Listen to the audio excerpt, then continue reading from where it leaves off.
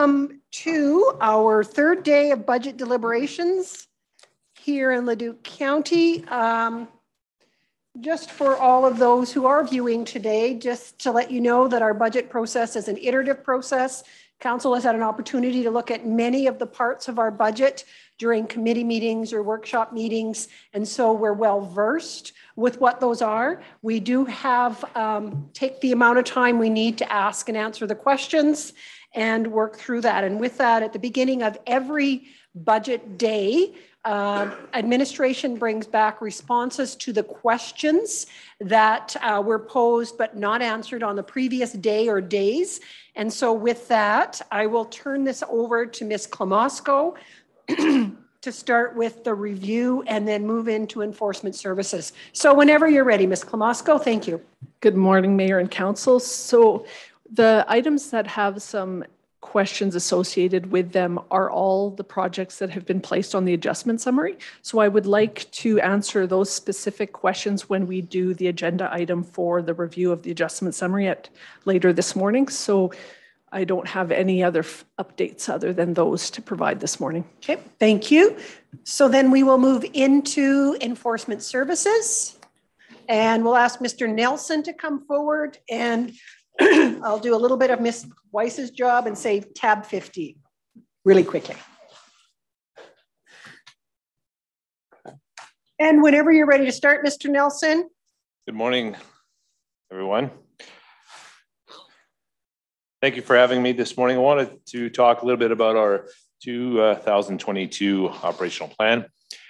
You see before you uh, section 1.2, the service areas no particular order. They're broken down into the following. That includes the leadership and administration, bylaw and animal control, enhanced policing, regional training, and traffic safety. Those uh, components of our, those are the, the backbone of our department and uh, form the primary things that we do each year. Uh, also refer to the organizational chart that is uh, current as of today, including uh, myself and the administrative assistant, our peace officers, our senior peace officer, and our bylaw enforcement officer. Do you have any questions about those? I have a question about the delineation between a senior peace officer and just a peace officer, and I'm assuming that's not an age thing. Well, you are correct, uh, but also it, uh, yes. Um, so senior peace officer is the person that is uh, sort of my backup in, okay. in my absence. And uh, he's the most experienced person there as well. Thank you. Uh, moving on to strategy two. Um, no, uh, sorry, strategy three. Let's move to that. Uh, action plans and referring to those three components that talk about the protection of infrastructure, and uh, to educate road users through traffic safety and enforcement. This is where we focus primarily on the conducting of uh, traffic operations per year. And we do, we, we do our target is about 700 in a given year. Our target for uh, patrols in banned roads is about 1,200 annually.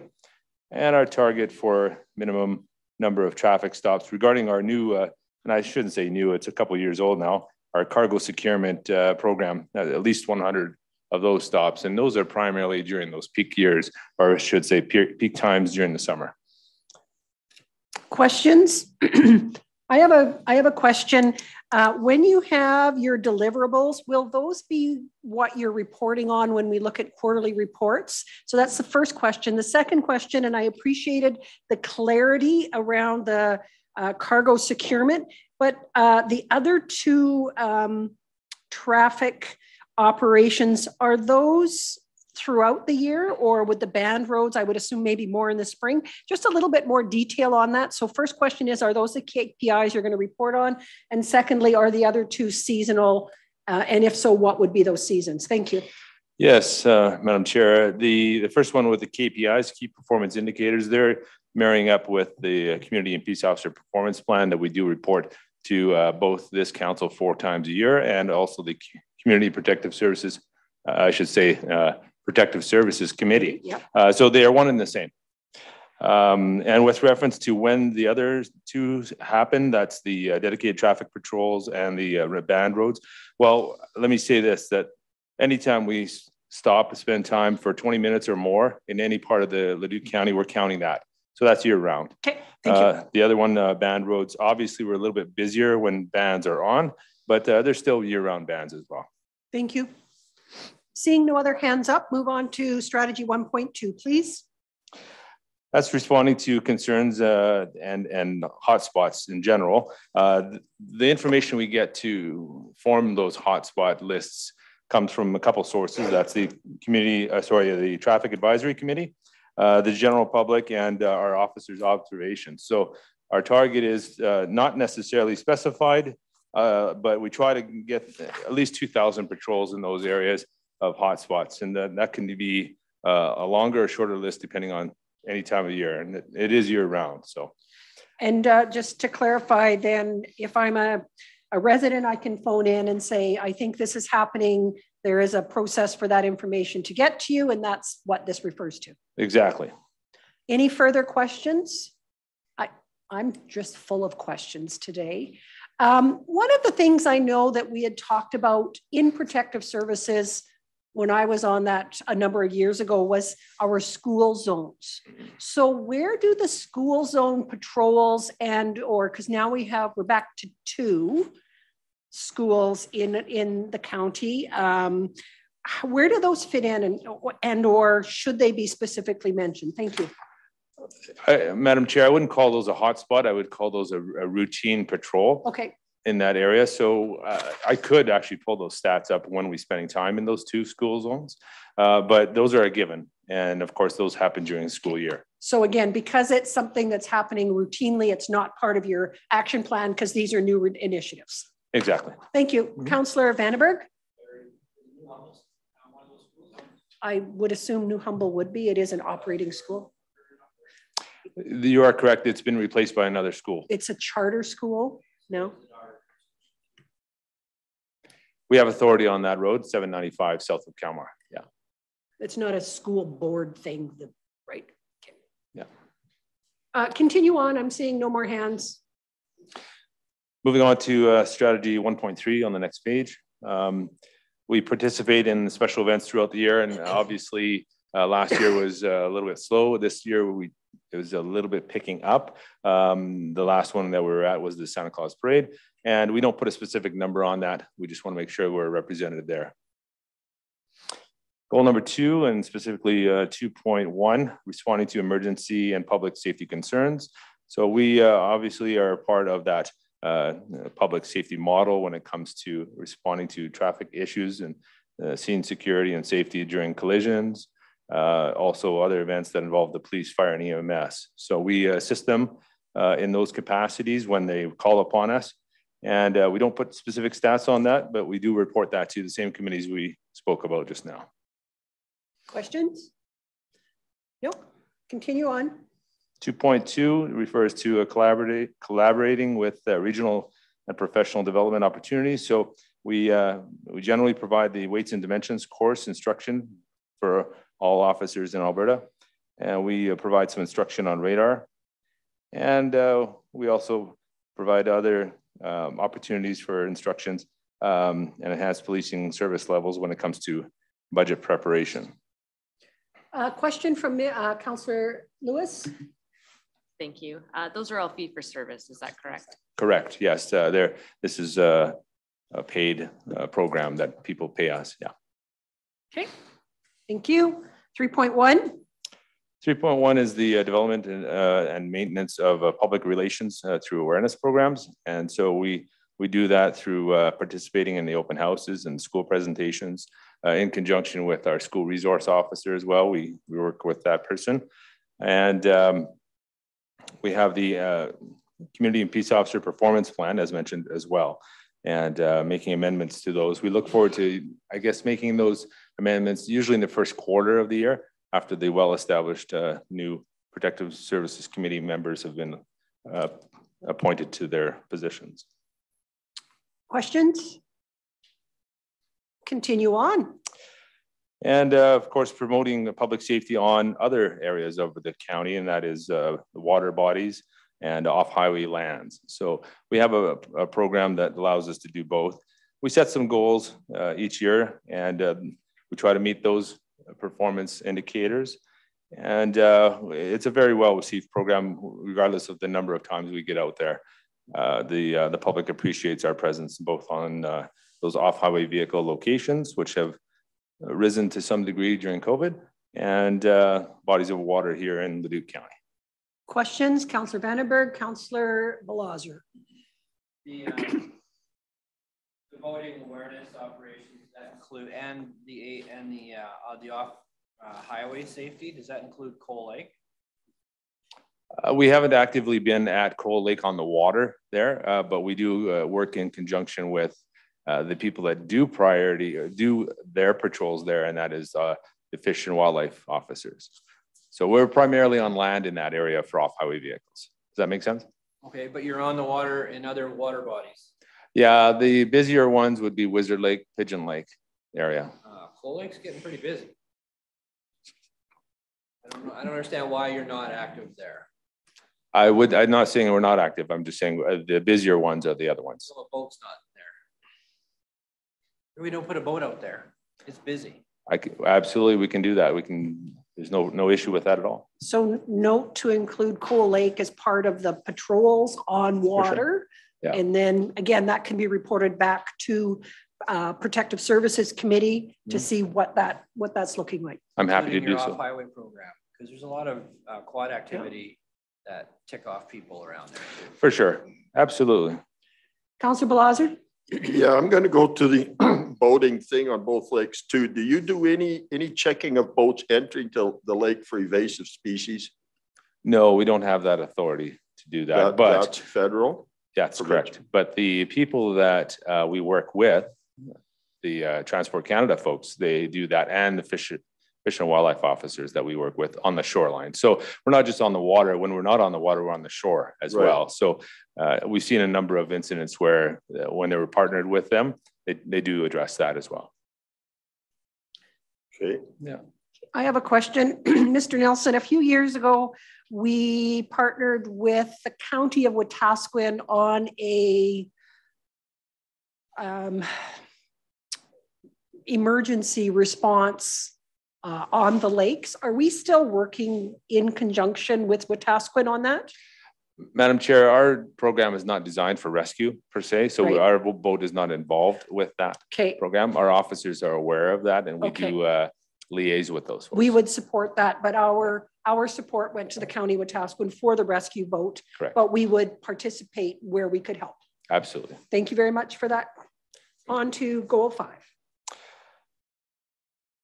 Uh, goal five, uh, 5.1, uh, we address nuisance and unsightly premises complaints. And uh, so those are complaint based and uh, we respond to property concerns uh, within a certain period of time.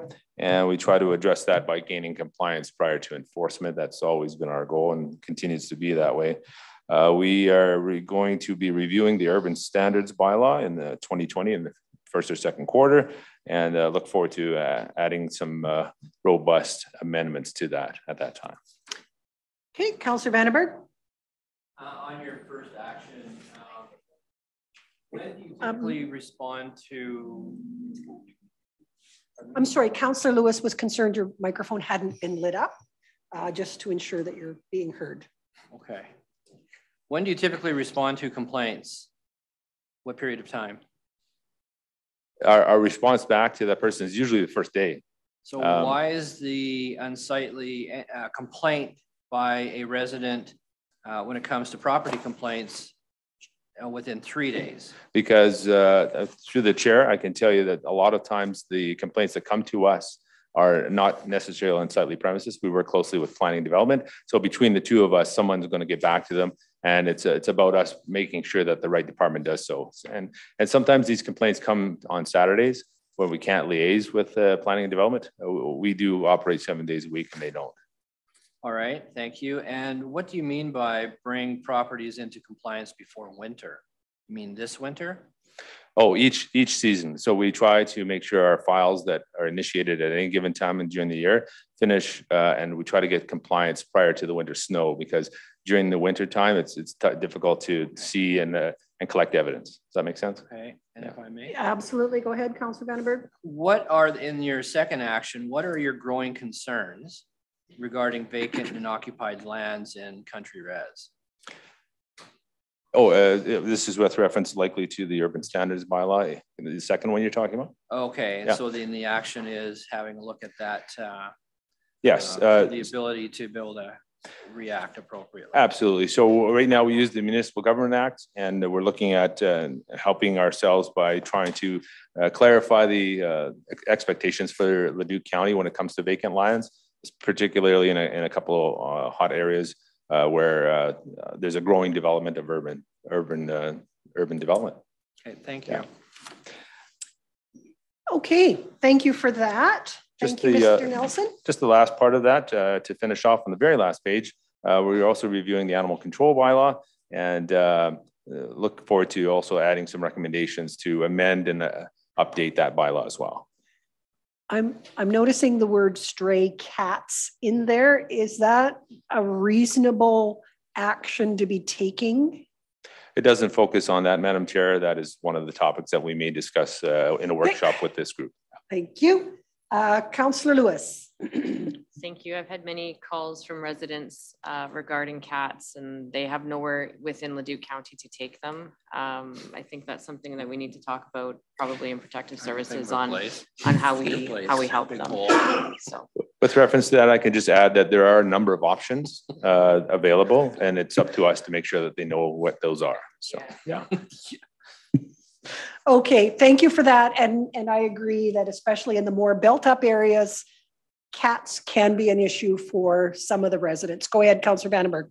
I gotta be careful on this mic thing. Okay. Um, the dog kennel, uh, dog kennels, the dog kennels in the county unauthorized, that is a, seems to be something that's, uh, in Division Three seems to be popping up, but what is the concern about, um, not being able to react Mm. appropriately to them?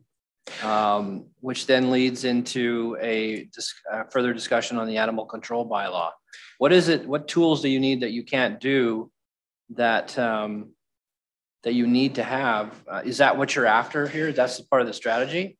Yes, I'm uh, thinking that you have the ability to react to unauthorized uh, dog Kennels. kennels, but I'm kind of catching maybe you don't. Well, I, I, through the chair, I can tell you that uh, there's a growing uh, number of people who want to get involved in uh, that business, if you will. And um, some people have been here for a while. And what's happening is we've noticed that that pattern has has grown uh, because of the lack of clarity in our bylaw. So we need to provide that clarity. Uh, not unlike the uh, concert and special events bylaw that lacked clarity back then. Uh, when we developed that bylaw, uh, things started to mo- move sl- a lot smoother.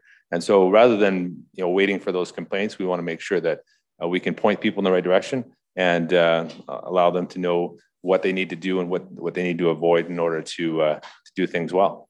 Okay, good, thanks. So just to, um, and I'm, I don't know if this is a growing business in the county of Leduc, but I, I know, I know that there are some issues with, and I'm doing air quotes, dog daycares. Is there a definition between a kennel and a daycare? And are those daycares creating issues that people are thinking they're kennels? Or have you not had any issues? And if not, we probably should get ready for that. Madam Chair. That's a lot, I'm sorry. That's okay. It- you, you're, what you're referring to is the need for the, our bylaw, our animal control bylaw to um, work well with the land use bylaw, which is also being re- Correct. revised. So That's what I Uh, meant to say. there's a, if I was to look at what you just said, it's a bit of a, a Venn diagram. There's some parts in the animal control bylaw, some Yep. parts in the uh, land use bylaw, and they do overlap. And, and those are the parts that we need to make, make sure they work well. Because again, that seems to be a bit of a growing i- industry that perhaps people are thinking is a kennel. Mhm. Okay, thank you. Any further questions before we move into the budget? Seeing none, thank you for that. So what we're going to do is go to your leadership and administration page um, and have an opportunity for any questions or if you needed to highlight anything on this page. So leadership and administration, first, any questions from council? Councillor uh, Scobie, please remember your mic. Thank you. I was just noticing ten and a half thousand increase in fuel for this year. Yes. What, what would your fuel bill be that, uh, that you get a ten thousand dollar increase? Well, Madam, through the chair, I can advise that uh, fuel prices have increased and so have our need to make those patrols that we've just been referring to. So uh, at any given time, at any given day, an officer puts on somewhere between 300 to 700 kilometers in Leduc County. This is a larger community. So um, that is based on a three-year average that we've looked at over the past couple of years. Does that make sense? Yeah. Okay, thank you. Thank you, Councillor Vandenberg. So twelve thousand dollar decrease in efficiencies with the e-ticket ticketing. But you had to spend another sixty-five hundred dollars in software for the program, so the efficiency is in half, less than. Is that a yearly thing when it comes to the software? Yes. So, yeah, at the end of the day, in order for this to be efficient, you need to issue e-tickets. That's the only method uh, after a certain part in the first quarter of next year that we will be able to issue tickets Okay, when it comes to provincial violations. okay, and that's the point I'm making. Yeah. Okay. Okay, thank you. On to bylaw and animal control. I'm seeing 360 annual complaints, which is pretty significant. It's almost one a day. You're exactly, and uh, we don't see a any any uh, change in that next year. In fact, well, any decrease, we'll say. Okay. Questions on bylaw and animal control? Counselor Vandenberg? Um, false alarms revenue, I mean, I, I don't. mm, uh, or, okay, we talk about a lot, that a lot in protective services.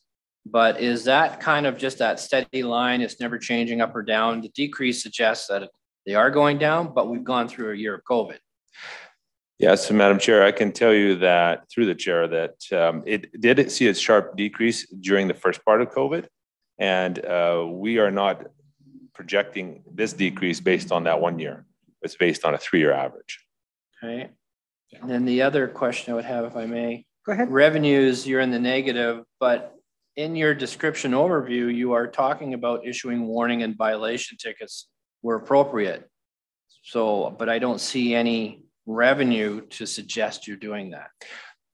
The, uh, there's two components to that. So when it comes to bylaw enforcement, um, if and when we are able to uh, make the amendment that we're suggesting for the urban standards bylaw, we will be able to take advantage of actually issuing violation tickets as opposed to right now, which we can't.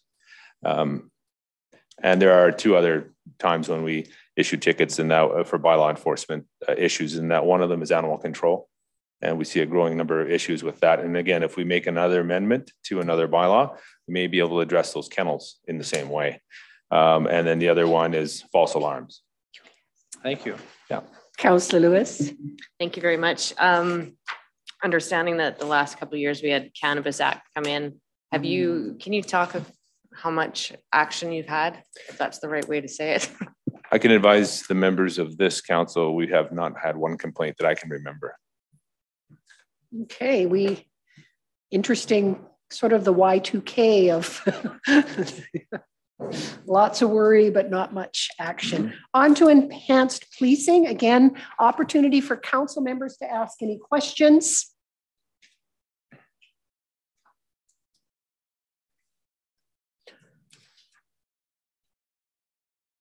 I am seeing none. Regional training.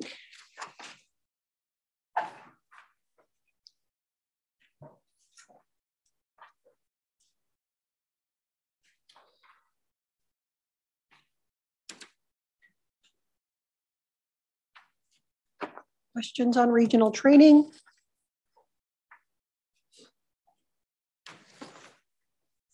Traffic safety.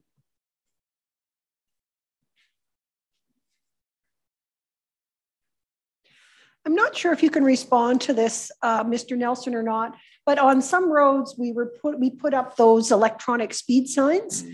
Did we see a decrease in the amount of um, violations on roads where we had those? Because certainly they caught my attention. Through the chair, well, Madam Chair, I can tell you that the information that is collected from there is still being analyzed over a period of time. Uh, So we haven't compared those to our Okay, violation charges, Yeah. if you will, not yet. so that could be something coming to our committee and then we could look at whether or not we should be investing in more of those or if they are worth the time. Okay. Yeah, and there's another committee, the Traffic Advisory Committee, that uh, Oh, meets to put that information together for you folks. Okay, great. Counselor Vandenberg? So, I mean, part of you being here is the whole education component and keeping a handle, a pulse on what's going on in our community. Um, some of those tools require you to issue tickets and that sort of thing. Throughout your budget, there is no revenue in here. So I'm kind of wondering, when does that happen?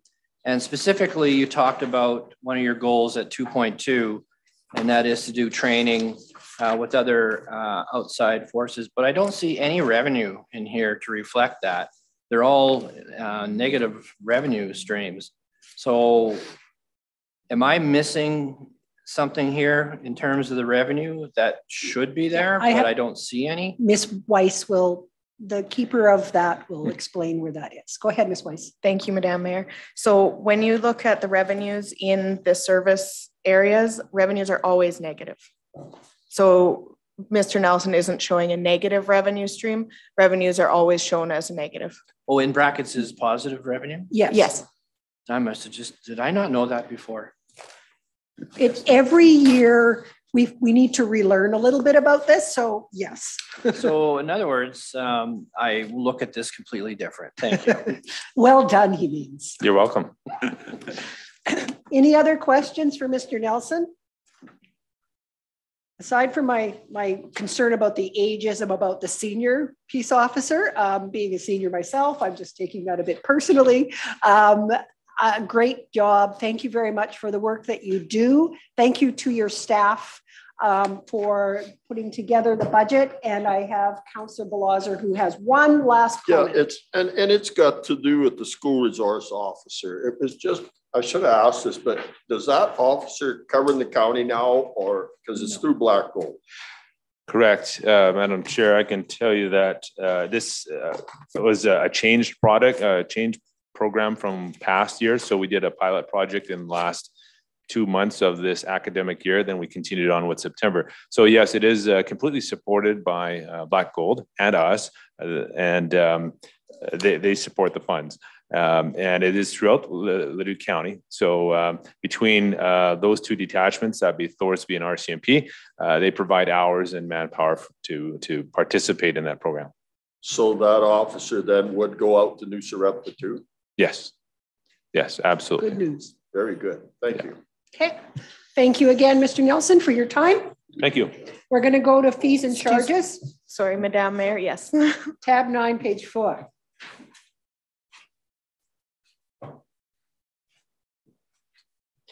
Um, I'm seeing no changes in these.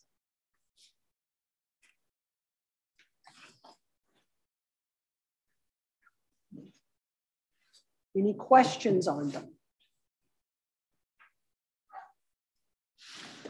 Counselor Vandenberg? Yeah, on the pound fees, I'm just curious because my dog did end up there that one day. Um, there's a, there must be a county component of twenty dollars, but the pound itself then charges me room and board as well, I'm thinking. Is that correct? That uh, the uh, the pound charges what we tell them, and all that money comes to us.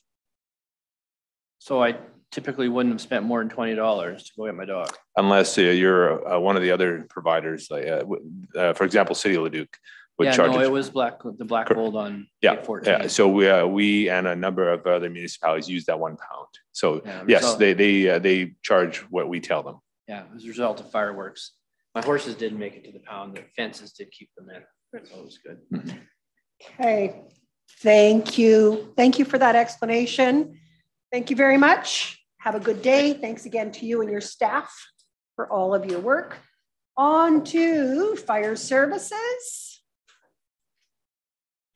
Chief is coming forward, tab 18.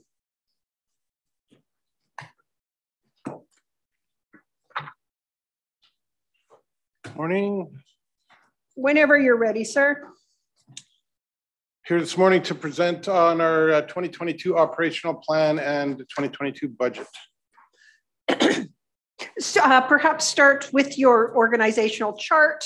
Um, the other piece we're pretty familiar with, and then go right into your action plan, please. Very good. The org chart this year does reflect 2022, so it does show the new five FTEs, which is uh, a change from last year.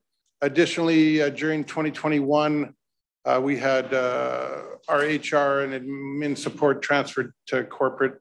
So uh, we only have one admin now. That's the only other change. Wow. Questions on the organization chart, which will be explained, changes will be explained in your action plan, correct? Go ahead, Councillor Scobie. I see you're paid on call firefighters. Uh, you got, uh, the numbers of them there. Is that what the maximum would be if you have them, or is that That's- what's supposed to be there? That's the positions that are available and through attrition and turnover year to year, we lose some and re- recruit some. And so that's the numbers that, that's our goal. I just, I just realized that like on Thorsby, we're, I don't think we're anywhere near twenty people right now, so. But No, it's- it's reflected in there as that's, Be nice if we could be, yeah. it'd be wonderful if we could, yes. Okay, thank you for that clarification. On to the action plan, Chief. All right. And through the mayor, so we have two strategic priorities this year and uh, five department goals. So our strategic priorities are, are carrying on with our regional emergency management uh, leadership is goal one, and goal two is uh, carrying on with our borderless service delivery, specifically the change in the contract with Warburg uh, District. Okay, Goal three, we are going to revise bylaw 1212, our fire service bylaw, which is big and uh, needs updating. Uh, Goal four, uh, we're going to look at the uh, recommendations from the standard of cover and station location master plan we presented to council last spring and uh, sort of do some long range and short range planning based on that. Uh, Goal five, uh, we want to try and get our firefighter training back up to pre-pandemic, but of course we keep getting these variants coming around. So we train when we can and we uh, we tuck and cover when we can't. So goal six, uh, we we're, we want to provide some team building opportunities. And as you may appreciate, firefighting is more than just training and experience. It's reliance on the team, and we haven't been able to do that as much uh, in a training environment. I mean, certainly our call volume is up, but we need our guys and girls to be able to know and depend on each other. So looking at some opportunities there. And then uh, just an increase in a bit of public education, um, maybe even traffic control in conjunction with other departments. We all remembered to put our pants on after COVID, but nobody remembered how to drive. We get a vehicle accident or two every day now. So need some public education. Council, uh, Councillor Lewis has a question. Thank you. There's a revenue source for, for fire services to attend collisions as well. Is that correct? Yes, we do charge for attendance at collisions. If it's on a highway, we bill directly to the Alberta government, and if it's on a road, we bill to the insurance. Thank you. Councillor Vandenberg? I understand the the need for fire safety education, um, but I don't know how you're going to increase that than what you're already doing with uh, publications and uh, spending time at schools and whatnot. Um, because there's also a, uh provincial component to this as well, uh, that of the uh, municipal. So um, will you later on talk about what that increase looks like? Yeah, I can answer that right now if you want, uh, through the mayor. Um, for the last two years, we haven't been able to go to the schools, so we need to get back into there. We were looking at a, a cadet program, which got interrupted by COVID as well. And just general fire safety messaging, uh, we're gonna have some more, uh, uh, traction to be able to get more messaging out, so we want to develop that. Okay. Continue on. So now you want me to go into the strategies? I would love you to. All right, so strategy one, one. Obviously, we're gonna amend the sub-regional emergency management agreement with the participating uh, municipalities. As you know, uh, uh, last year, the city of Leduc and the city of Beaumont were asked that they could do on their own, which is good. And we're going to support the smaller municipalities. And, uh, you know, we're just continuing on with that piece of work. Just a question on that, if I may, Chief, and I apologize. Um, I know that all of the municipalities that we were working with have have new leadership. Have you been able to reach out and, and start some of that now, or you're waiting for them to settle into their new roles? Yes, since, uh, Madam Mayor, in answer to your question, since the election last month, we have been waiting for the councils Okay. to, you know, find their seats and their, Correct. and their corporate key to the corporate washroom. So it's, And then we are going to have to reintroduce Yeah. and re, uh, re-explain this to the new councils. Thank you. Continue on. Okay, so that, and uh, so uh, goal two, strategy 2.1, new fire service agreement. That is uh, a pickup from where we left off with our discussions with Warburg uh, from, I think the last time we met was in the spring before the, before the election. So we'll have to re, uh, reorganize those discussions. And we do have something to start with, so hopefully it's not starting from square one. Counselor Hopefully. Vandenberg. Yeah, so like the rest of council has not been uh, um, uh, brought up to speed on, on any of these talks, uh, but I see that a new agreement to be approved by Q4 of 2022. Why would it take a whole year to reach an agreement So- from now, particularly when you've got some underlying already discussed, which I don't know mu- anything about. Uh, Through the mayor, if I was uh, projecting it last year, I would have said it would have never taken to Q1 2021. But uh, in the end, last year, it, it disintegrated into a point where it needs to be completely rebuilt. Hopefully, like the mayor says, we can, you know, get back on track pretty quickly and maybe it won't be Q4. I just didn't want to, I want to uh, overpromise and overdeliver, uh, uh, under-promise and over-deliver. All right, and I believe, and I'm going to refer to Mr. Thomas, we did bring the agreement in principle to a governance and priorities committee, I, I think back in March, April or May. Uh, I'm not sure if you were, a- uh, you might have been away from that one meeting, Counselor Vandenberg, but uh, Mr. Thomas will know. Madam Chair, we did have some discussions with council in camera, um, just to discussions regarding some of the particulars and conditions in the agreement. I don't believe we provided the agreement in its entirety to this council, but it has been provided to uh, the Village of uh, Warburg's negotiating committee. So we do have a draft agreement that we need to bring forward to the table with the Village of Warburg and uh, initiate those discussions again. Because they have some new members at, at the village, we're not sure how long this is going to take. Um, we are planning to wait until January 1 to Yes. initiate discussions with their administration just to see what their timeframes will be. But that'll occur in December 1, uh, January 1, uh, and allow uh, that municipality to have some time to organize their themselves. So we will find some time to bring the draft agreement that didn't go just as a review to council um, in an in-camera session um, in the new, fu- near future. Okay, Noted. thank you. All right, strategy three. Uh, we want to revise bylaw twelve twelve. Uh, as you know, we're later, uh, this month or in, within the next month, we're going to be bringing the burning bylaw to council. And right now, parts of that is incorporated into the bylaw twelve twelve. So we just want to clean up that. That bylaw is big and and cumbersome, and we just want to clarify some things, modernize it. Perfect. Strategy four point one. So uh, again, with the standard of cover station location master plan, uh, council supported us to uh, um, create a temporary fire station here and uh, hire a day shift crew. We want to look at some of the other recommendations coming out of that study and uh, look at some short-term or long-term goals coming out of that work. Questions on that? Okay. Goal five. Goal five. So again, as I said, uh, you know, this, this pandemic has uh, impacted our training ability quite significantly. We've, we've uh, done a lot more online training. We've done small group training when we could. We did some outside training during the summer, which was awesome. We just need to make sure that we can uh, stay as prepared as we can as, as this uh, pandemic ebbs and flows. So Chief, um, one of the things we heard that Parks and Rec is working on is a youth sort of leadership training program.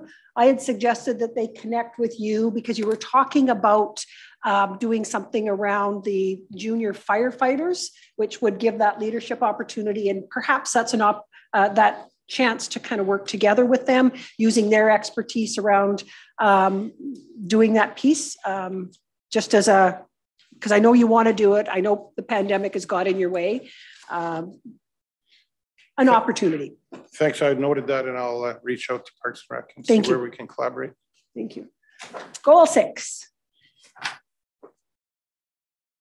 Goal six, uh, like I talked about, it's, you know, firefighting isn't all just necessarily about training and experience. It's about the team and it's about the confidence in each other. Uh, in a minute, you could have to put each other's life on the line and you need to have the confidence in that person. So some team building opportunities uh, throughout the year. And strategy seven uh, is just some added fire safety material, uh, public education, get back into the schools, which we haven't been able to get into for two years.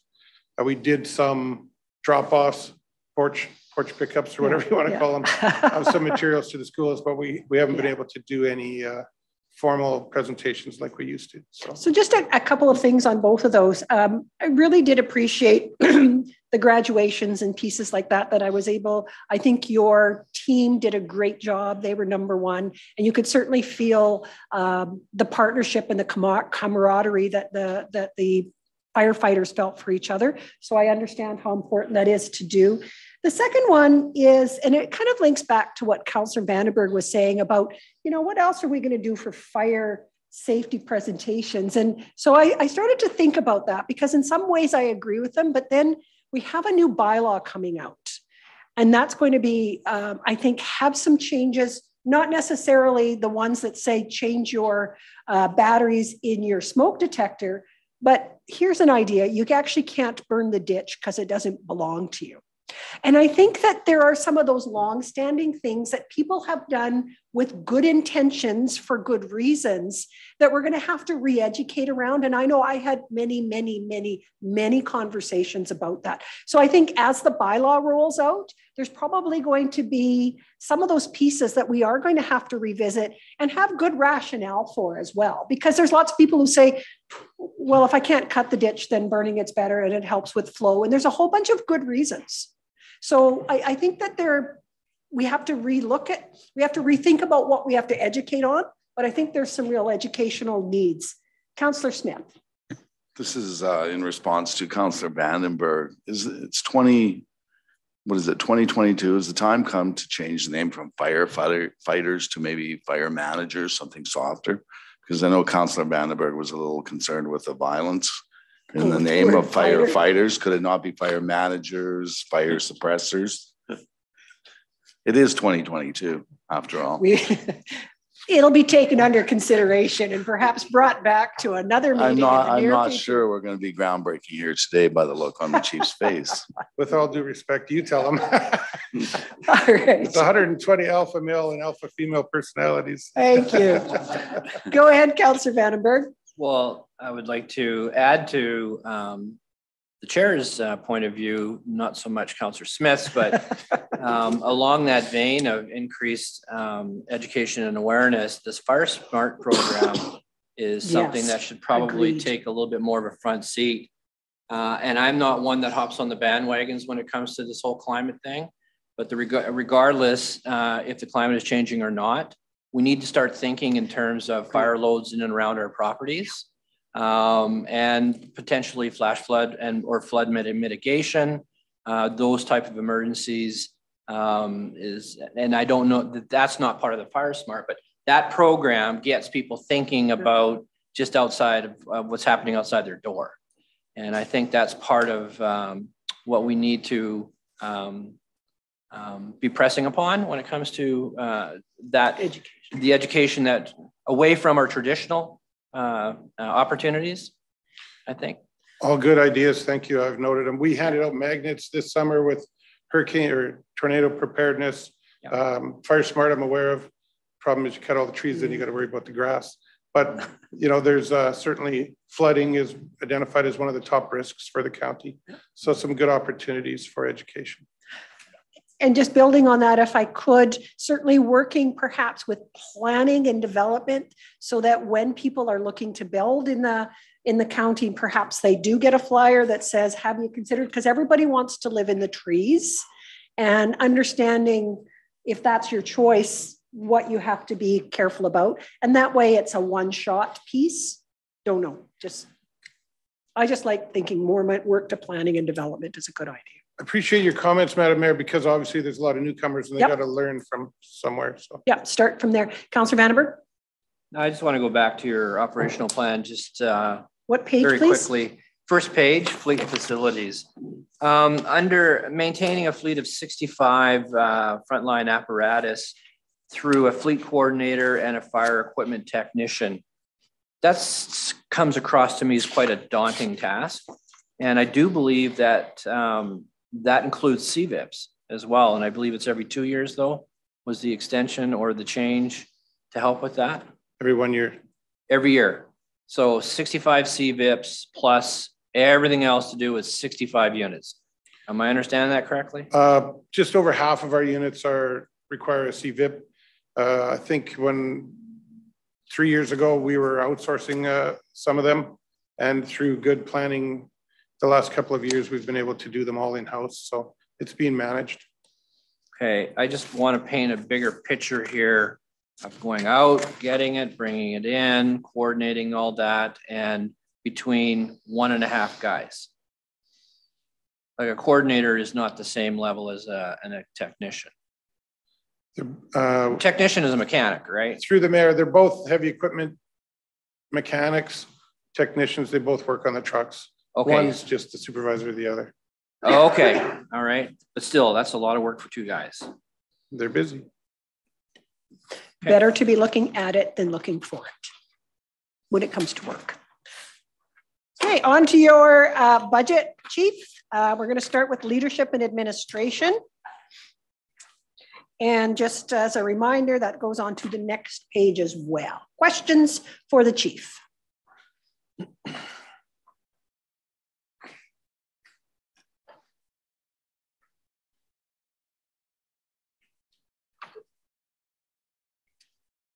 I'm seeing none at this time. We'll go over to emergency management.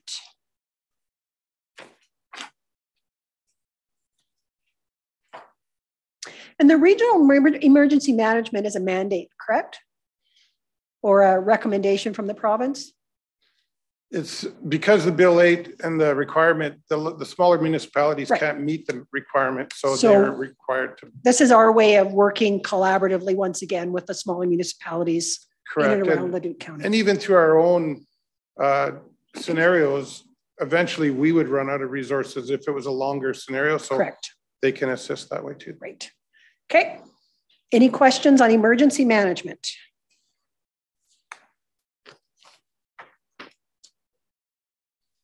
Only Moving- one. Go ahead, Councilor Counselor The revenue in there, is that fair share?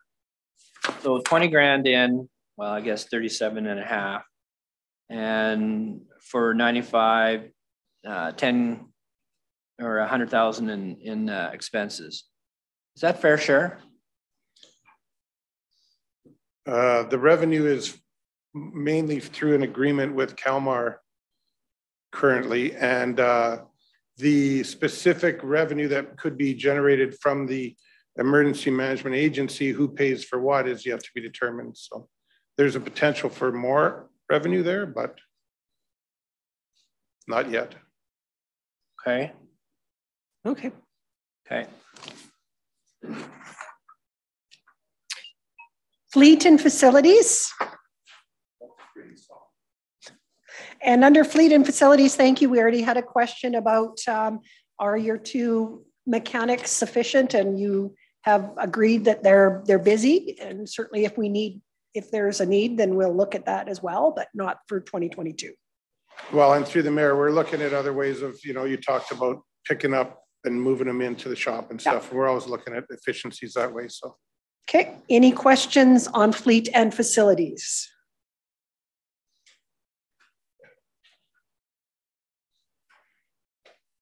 And I'm going to assume at ten thousand dollars, the dryer that you're using to dry gear in Thorsby isn't a Samsung.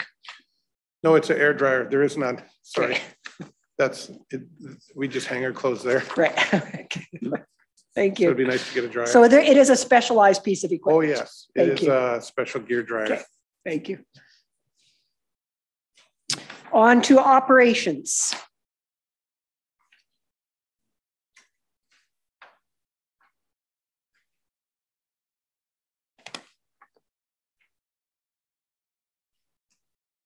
Seeing none. I am seeing no hands up at this time. Do you have a question, Counselor Vandenberg? And I've been Counselor saying Smith seems to think all the way you. through the increase of the FTEs and platoon chief um, at six hundred and fifty thousand is about hundred and twenty-four thousand dollars a person. I, I just, that just seems like a lot to me. And, and plus you have uh, a very well-trained and oiled staff. I, I, I don't get the benefit of a platoon chief. Um, in a year's time, I get it. Um, but at this point in time, I, I just, I don't, I don't, I don't comprehend. It So- doesn't make sense to me. Can you talk a little bit about the, what, just what Counselor Vandenberg is referring to and then the cost of, uh, so first as then the organization and then the cost of? We're gonna talk about span of control and oversight. Our deputies, I have four deputies, they all have their portfolios. I have a deputy of operations. Each of the deputies takes a week to do that nighttime coverage. When we're looking into putting in a full-time crew, I need oversight. Right. I, I mean, that- So the platoon chief is Platoon the chief is oversight the for the full-time crew That's that we're putting in to help manage here in the Nisku and airport area. that's correct. And in my experience, that's what role a captain can do too. Um, you know, I mean, I, I just, I have a background in it and I'm just having a problem with it. Okay. it. So, The, the chief is confident that that's the right decision. Okay. Thank you for bringing that up, Counselor Vandenberg. Public safety, education, and safety codes.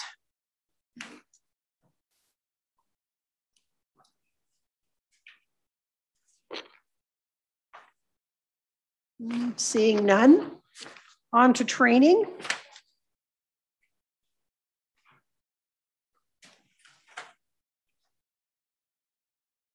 How many regional training activities did we host prior to COVID and have we been able to host since? Through 2020 and 2021, it was very few. Right? Most are either they don't have the budget anymore or they don't have the confidence or Right. we didn't have the safety in place depending on where we were with the pandemic. So our external hosting has dropped right off. Hopefully that'll come back in the next year or two. And, but it has, prior to COVID, was something that was highly sought after. We had lots of interest in our training. Yeah, from in the Edmonton region, from as far away as Morinville, they were coming here. Okay, that's good to know. And hopefully, um, as we work through this, that'll come back. Any other questions on training? All right, where to, oh, go ahead, Counselor Vandenberg, sorry. so thank you for your presentation and the detail to it. Um, while you're here, I want to talk about the strategy around acquiring fire apparatus. And one of the things that um, I've tried to do some research in is the validity of a fire apparatus and its pump. Um, that it's mandated by ULC that you can only get 20 years out of it. Um, I can't find anything uh, in that regard. I don't have access to it. The way I look at it is we got a, we, the Chevy versus a Cadillac. Are we buying a bunch of Cadillacs? And I, I, I see the advantages to replace, and that is new technologies, occupant safety, you know, in the cab and whatnot. And I come from a midship. I was a firefighter that operated out of a midship. And new technologies and suppression, put the wet stuff on the on the on the wet on the, the red stuff. Okay, foams, that's tech new technology. Um, highest degree of safety concern. We need the highest degree of safety concern. Once again, Chevy versus Cadillac. I think the Chevy performs to that standard just as well as the Cadillac. Uh, efficiencies and power emissions and, and uh, that sort of thing.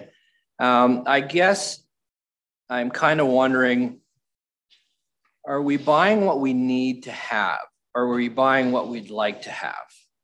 So that's my question. Just before you respond, um, Ms. Weiss, can you put up on the overhead, because I'm not sure everybody has their MPCP binder. It is um, in there under CP 002. 002. Thank you. Just so that everyone is understanding uh, what Councillor Vandenberg is talking about. We have talked about this um, during that discussion. Councillor Vandenberg just has some additional questions. The main one, I guess, being is, is it a cattle? Can we buy a Chevy well, if you take a look, stand back and have a look at it, it's 43,000 kilometers. It's got 1,100 hours. And one of the, the key thing is the ULC on the pump. Um, okay. How much does it cost to replace a pump? It's got to be a whole lot cheaper than $412,000. I guess what I'm saying is, is there other ways of looking at this before we actually retire this unit so that other another rural municipality will come and pick it up and put it into service? So I guess this whole front line versus, I don't even know what that is, and I should know, but I don't, versus a secondary line. I don't, how is it that these other places are picking up uh, the stuff that, uh, and maybe they're putting in a fire pump and they're good for, it's that whole question around the Chevy versus the Cadillac. Okay, Ready? if you can shed some light on why we are um, purchasing and other people are purchasing our old ones. So through, through the mayor, it's a really good question, and it's not it's not a simplest answer. However, I'll I'll say this: a little bit of it's about risk. A lot of it it's about safety, dependability, and legislative requirements. So if the the suggested replacement is 15 years on a frontline apparatus, that's the first truck out the door. It shouldn't be more than 15 years old. You can use that truck as a second truck until it's 20. And you can use it as a reserve if the front two don't start and it will, you can run that truck 20 to 25 years. So that's the life cycle. After 25 years, they're scrap or used by the hot tub water company or the, the landscape guy. They're not in service after 25 years. The other piece about extending the life cycle on the pump, ULC has a 20 year rating on the pump. That's United Laboratories. There's, we don't have a say on that. We, that you can rebuild it and extend the life five years, but you have to bring every piece of the truck up to current code and current standards. And like it says in there, the cost of doing that for, and you're still on a 20 year old chassis for a five year mm-hmm. extension, it doesn't make cost, it doesn't make sense from a cost versus value perspective. So you could extend these trucks another five years, but you're probably investing that much money just into refurbishing them. So that leads me to another question. Who is resetting all these standards? And and I mean, at some point you, you got to say, whoa, hang on here. I mean, once again, I ran out of a midship. We didn't have these, these fancy apparatus back then, but we still did the job safely. So who is writing all these standards that we that you have to subscribe to? And and we should maybe have a say with them. And because the cost in municipalities, this is significant dollars. Labor, apparatus, SCBA, AFRRCS radios.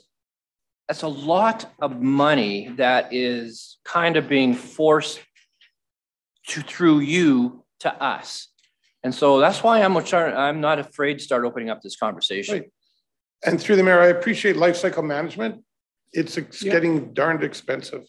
right? It's getting darned expensive. So who sets the standards and could we have a conversation with and or uh, share some concerns with whoever, I, I'm sure it's a provincial organization, it generally is. So as far as Foster Fire Underwriter Survey, I've already got an appointment coming up to meet with Fire Underwriter Survey because uh, Leduc County is due in 2022 or 2023 to have ours redone. And if our trucks are too old, they could drop our category, which may or may not impact our fire cost of our fire insurance portion of our insurance. That's a little bit dependent on the broker. Because I would say that in a paid on call response, we're probably already at the top rate for fire insurance. Well, I can add to that fire insurance, uh, because I did talk to RMA Genesis, and they're essentially saying, because you're so regulated, that it's whatever you bring to the table will insure. They don't really have a say in what you can or cannot operate, other than it's got to be in compliance. For with- clarification, I'm not talking about the rig, I'm talking about property insurance, the, the fire, the fire insurance portion of your property insurance. Okay. So can we have something come to a workshop? I'm, I'm not going to say that the Protective Services Committee, not everybody sits on this, but I, I think Councillor Vandenberg, we have, we're starting to look at an advocacy committee. Is there an opportunity to have those conversations with whomever is making these decisions and just talk about that? I mean, I would say that probably nobody sitting here is driving a 20 year old vehicle. I could also see that a 20 year old truck in the town of Calmar, which has a very small radius, is different than a 20 year old truck that's driving from, you know, Calmar to South Wizard Lake. Um, but I think that there's lots of questions here that we need to have an opportunity to talk to. And Kyle, uh, Mr. Thomas, did you have a comment or a? If I may, Madam Chair, just a couple of things. So the underwriters uh, survey did perform an evaluation of Nisku specifically a couple of years ago. And because of our service uh, being quite proactive and, and having a lot of apparatuses and providing very good services to our businesses, the insurance rates actually dropped for some of our businesses. Okay. Um, and this is the correlation between attractiveness, retention of businesses, and, and promoting uh, a healthy organization or a healthy industrial park. So I think it's very wise, your suggestion, that we do bring this to a workshop and have a discussion about how the service that we provide impacts our businesses and their ability to insure themselves, because it is a key component. See, these are all worthwhile things to go back to. I'm representing the taxpayers who are, are bucking up for this. And so I have to ask these questions. And again, just like we work hard to keep our water and our sewer rates lower for industrial customers, this is another example. Uh, thank you for bringing it up. And I, I do believe it's a really good conversation to understand that, as well as something perhaps on our advocacy agenda as well. Thank you. Further questions? Councillor Lewis? Thank you. Just looking at, at the total cost is not the four twelve five hundred, it's actually the eight hundred and twenty-five thousand. Knowing that it's off warranty or out of your service area of twenty years, is another municipality able to go to an auction and pick this up? And then use it for fire? It's 20 years old. They can't do it. Not, not yeah, quite often these trucks are donated to South America.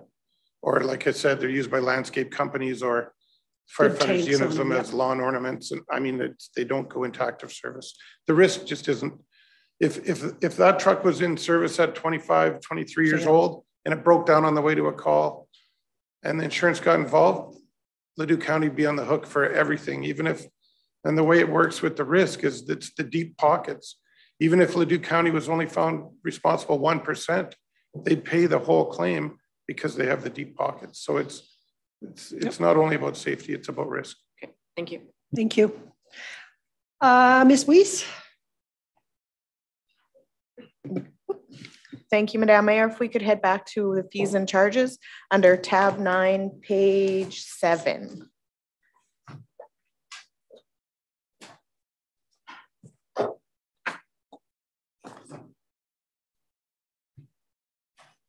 And I do see there's some changes on this, the back side of that page. Uh, Chief, if you could respond to those and that storage tanks um, inspection, et cetera, and we are just getting a copy of that.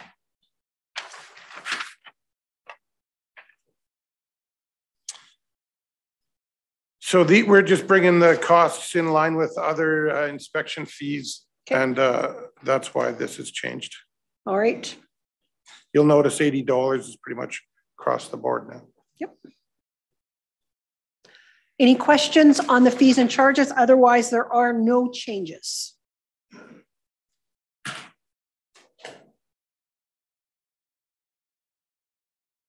Seeing none.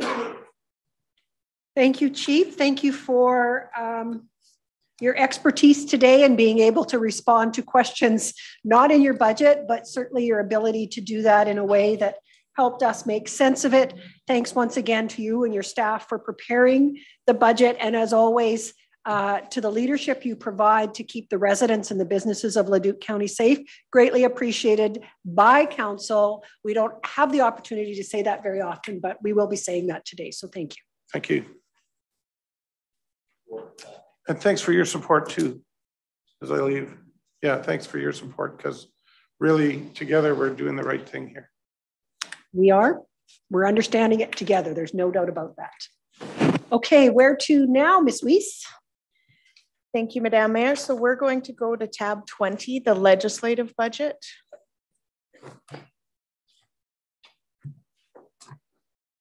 So through the legislative budget, this is council's budget.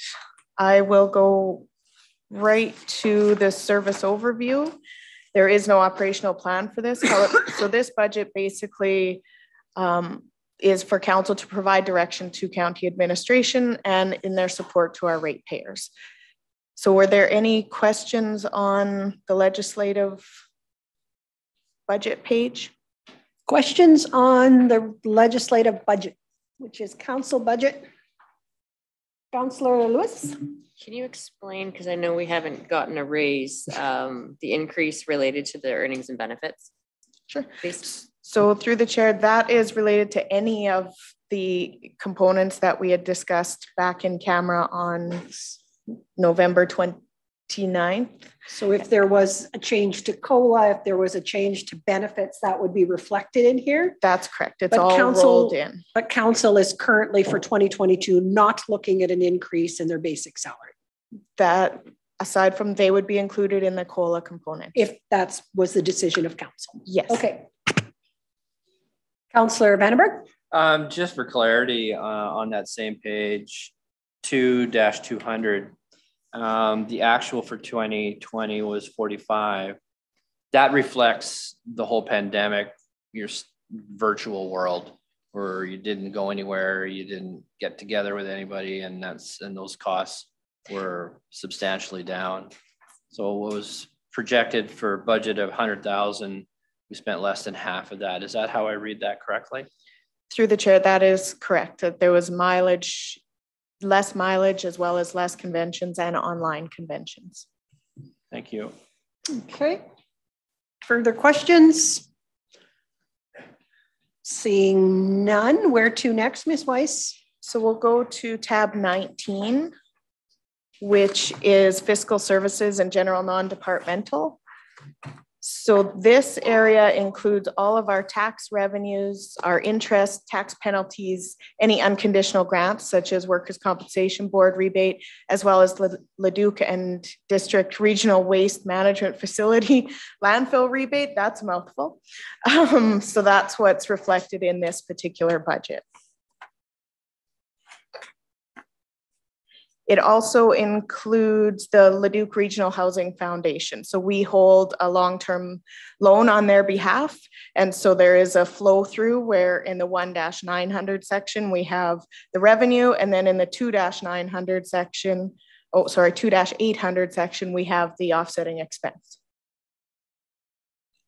So we're spending two sixty-five a year. Questions? Go ahead, Councillor Lewis. And not to put you on the spot, do you know how many years are left on that debenture for the housing? I do. She knows, yeah.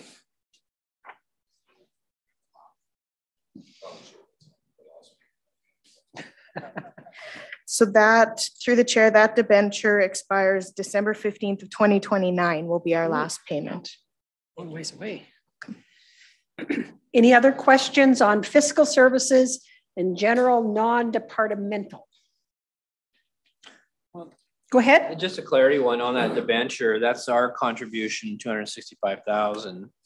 Uh, no, No, through the chair, it's a direct flow through. So we collect the debenture payment from them. We pay them and then we collect that money through Leduc Regional Housing. Because the regional housing could not borrow. what is our contribution to that number? That, What is our requisition to Leduc Housing? That's our next, our tab twenty-four. Can I answer that when we get to the next department? So just to clarify, Leduc Housing cannot borrow. And so we are borrowing on their behalf, and that's what that responds to. Yes, Madam Mayor, that's my understanding. Question? Nope. Just stretching? Yeah. Okay, Okay, so if we can move on to tab twenty-four, which is our requisition expenditures. So we have, there is no change in the requisitions at interim. What the budget change that you are seeing is a reduction to the city of Leduc cost share based on estimated assessment change through at EIA, okay. on EIA properties, and I will so we, we do adjust the requisitions at final budget. And if you just bear with me one moment, I'll find out the requisition amount for, So on the requisitions sheet, it shows a one point zero six decrease, and that's due to assessment decrease at the airport. Did I hear that correctly? That is correct. yes, Madam Mayor, that is correct. Thank you. And so our, to answer Councillor Vandenberg's question from previously, our Leduc Regional Housing Facility, our requisition is anticipated to be two hundred and twenty-six thousand and fifteen dollars. With the caveat that we haven't received all of that information yet. Typically, that comes during Their budget. January, February, Yeah. during their component. Okay. Go ahead. And dividing that two hundred and twenty-six thousand over the number of residents, um, it's three dollars a tax, right, per property? Is that what it's? We have approximately eleven thousand five hundred tax notices that go out. Yeah, yeah. okay, thank you. Okay, Counselor Vandenberg? And, and and I don't sit on the board, but how many stakeholders are uh, in there? Um, How like many five? municipalities in the Liddy Housing Corp? All of them. All of them. All of them? Warburg, Thorsby, Calmer, City of Leduc. City uh, Leduc. City Leduc, Beaumont? uh, Beaumont, yeah. Yeah. Okay, so of that two hundred and twenty-six thousand, what do our taxpayers pay? That- Two hundred and twenty-six That thousand. is ours. That's That is our- our portion to The it? other municipalities actually pay their own, Yeah. Okay, Based on on their assessments. do we pay the highest amount of the other partners? Yes. You haven't been to a meeting, how would you know? He remembers from last year. It's a lot. Okay, Thank you. all right. We are now going to go to review of adjustment summary from 2021 to final. Is that correct? But before we do that, we're going to take a quick five-minute break. So I'm going to call a recess, Michelle. Oops, now I've created issues with live streaming. Ah.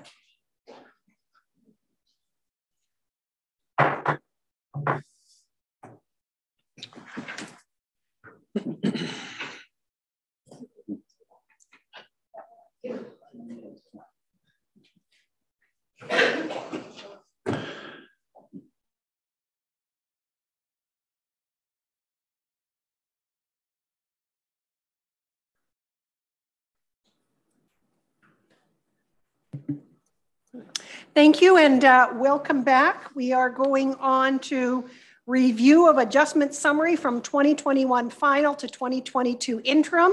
Um, And who's leading this? Ms. Klamosko? Ms. Klamosko, whenever you're ready. So the first item that we have on the adjustment summary is the building life cycle maintenance. Um, So there was a question raised about the air handling unit. So I do have a, a response um, that I received from, um, from corporate services. So various work is happening within that um, public workshop. So um, we have that, that ultimately impacts the air quality. So mechanics working on vehicles, so the vehicle exhaust, there's welding, painting, um, other work being done with solvents and chemicals. So within this project, the one thing that we looked at administratively um, in terms of looking to replace this unit proactively as opposed to should it fail is just around some of the concerns about how long this unit could be down for potentially should something fail on the unit. Just because there's uncertainty, depending, um, you know, what breaks down, we don't have, uh, you know, certainty with how long it would take to potentially get parts to replace and how long that unit would be down for. And the impact of that unit being down would be that the work within those shops would not be able to be done because that air exchange is not occurring. So one thing that we've implemented within asset management is looking at doing risk assessment in terms of um, the impact that that uh, project has in terms of, of risk. So I just wanted to just highlight a, a little bit of the piece of work that, that we're doing within that, just because this particular project, um, when we apply this risk assessment to it, has a higher risk than, let's say, a project, a, a photocopier with in an office setting. Uh, we would apply a higher risk, and that is why we would make a recommendation potentially to replace this more proactively than uh, a different piece of equipment. So um, the risk assessments, what we go through are two components. So the likelihood of failure and then the consequence of failure. So you'll see here within the section of likelihood of failure, we've applied, it's a five point scale looking at it's not likely, uh, not very likely, likely, highly likely, or near certainty. So we apply a probability. So again, these are, um, you know, estimates given uh, where we believe the condition is for the piece of equipment. So in this case, we would say that, you know, not very likely or likely could be given the age of this unit that we would apply to this circumstance for this unit. So going to the next section, when we look at consequence of failure. So here we look at these three different aspects and we assess uh, what do we believe the potential impact would be if this equipment failed. So in this specific piece of equipment, we look primarily, um, you know, we look to impact on performance. So because we are doing repairs various of various equipment within this shop, we look that there is the potential, um, you know, that we're not going to achieve specific um, timelines can be a slip in schedule. So we're looking at perhaps even that number four, unable to achieve multiple goals or major slip in schedule because of our inability to do the repairs in that, that shop. So it's a little bit of a higher risk in terms of consequence of failure. So you can look at that three or four. So also there's, I mean, ultimately, if we have concerns around air quality, then we would limit um, staff working in that, in that shop. So going to the second page of that assessment, we then apply those two uh, criteria to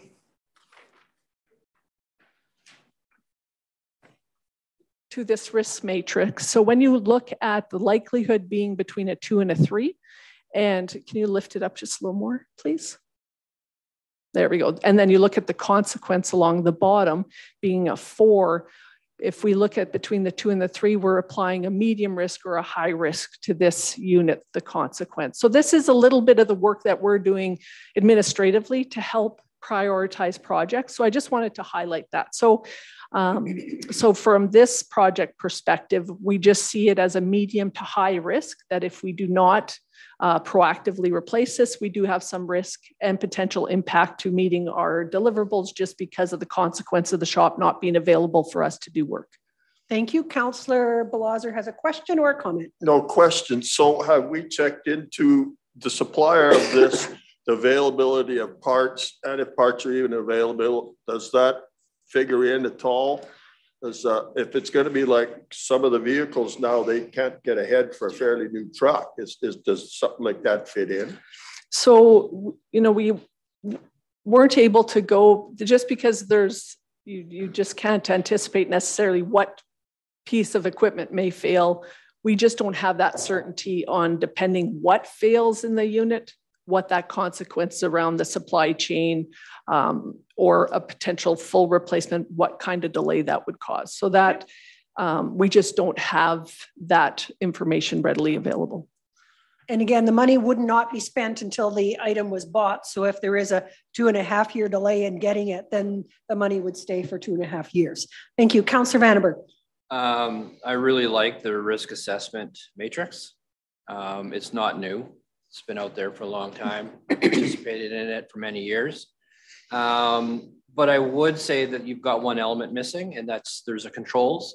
So when you assign a risk to something and you determine that it's medium risk, high risk, uh, the next thing you do is you look at uh, uh, implementing controls. For example, instead of having to be inside to do the work, you move it outside to do the work, depending on the, what the work is. So it doesn't, it doesn't stop you from doing it.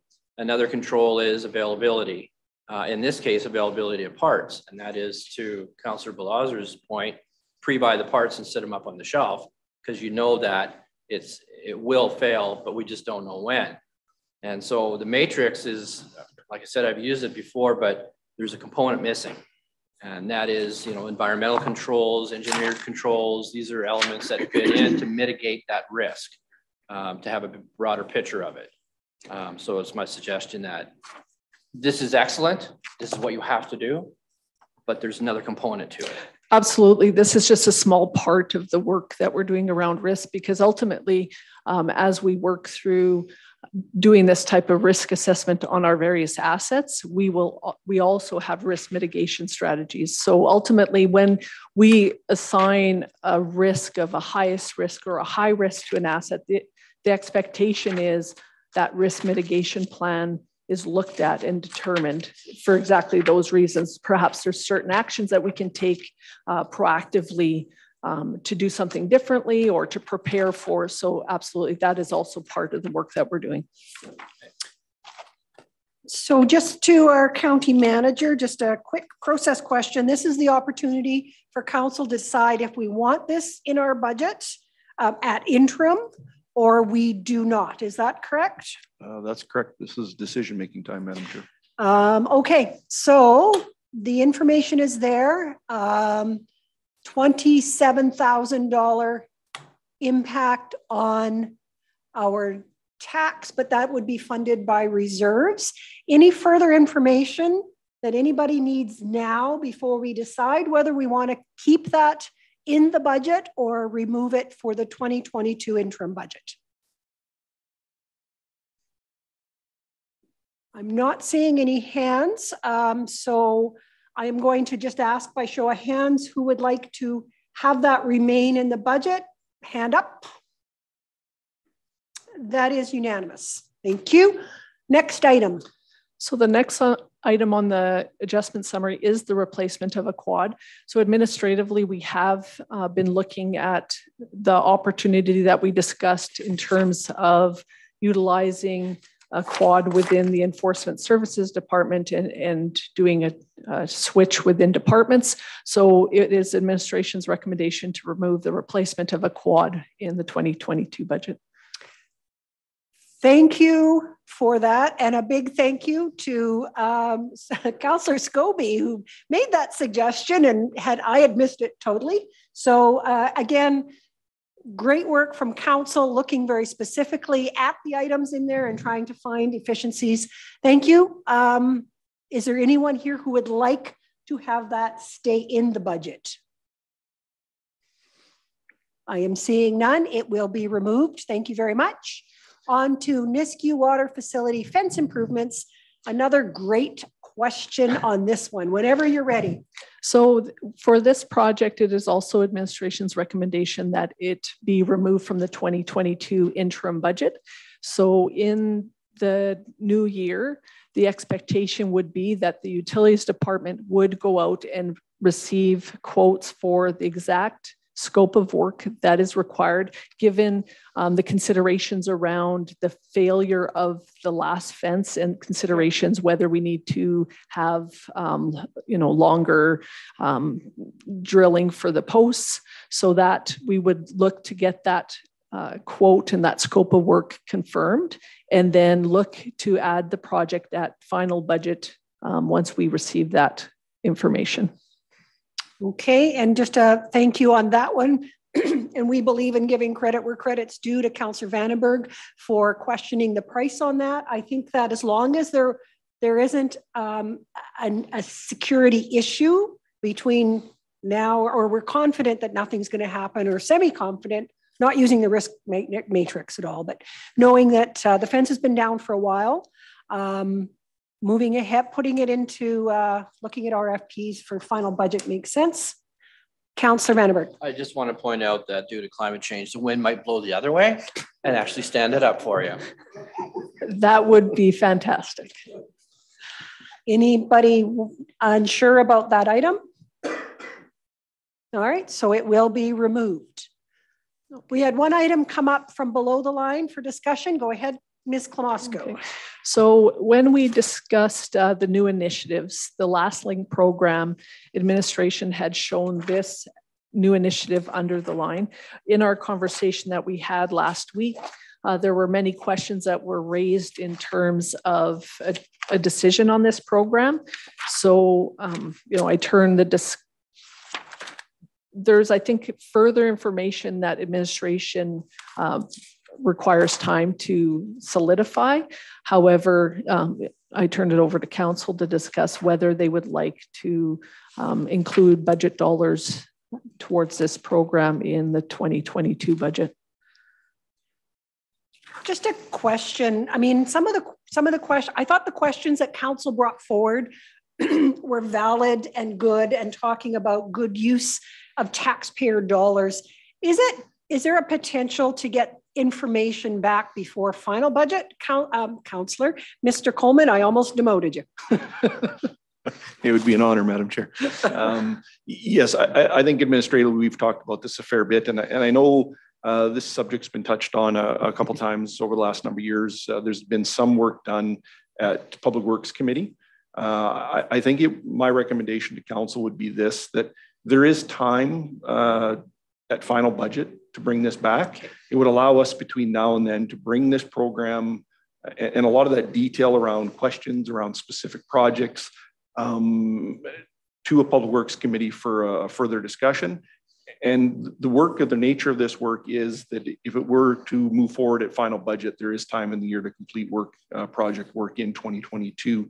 Um, there is some concern and, and, question around the quality of the roads yep. that this would be going on, uh, some uncertainty around what kind of application this is. I think council needs to know all those details to make a good decision. Uh, it doesn't preclude it from not coming forward in 2022, but I think you'll be making a, a more informed decision with that discussion and, and we can make that a focus point of Public Works Committee over the next couple meetings. Uh, I think it dovetails in some of the other uh, issues around uh, dust suppression as well, and and we can put that together in a full program for you for review. Mm, thank you for that. Any comments on this and the proposed action by administration, Councillor Vandenberg? Um, I support the action by administration. Um, I support the program uh, because it is highly visible and it is um, looking forward to what we've already started, and that is um, uh, being a little bit more analytic uh, with our roads yes. and the information that we gathered coming back. And having that in front of us allows us then to look at these type of opportunities, uh, the, the, linking the last mile or whatever sort of the program is called. Um, but before I would want to make the full decision, uh, having more relative information around it, um, I think is uh, appropriate from in my mind. Councillor Lewis. Thank you very much. Uh, having advocated for this program for four years and now I'm going on to my fifth year, um, we've had many opportunities to talk about this program in Public Works and in budget last year, um, understanding that there's still a program that needs to be developed to, to fix these roads uh, kind of once and for all, if you will. Um, I would definitely support this being put in the budget now, having more information come back to Public Works and us making, making the right decisions on, on roads and what product uh, to put on these roads. Um, if efficiency is what we need to look for, I know, uh, for example, Deer Crossing, there's there's road work that needs to be done um, in the spring that Public Works is committed to, and what a perfect opportunity to do that road at the same time. Um, I would definitely support this being included in budget. Thank you. Thank you. Any further comments or questions? Just hang on, Councilor Bamber, see if we have anybody else. Go ahead.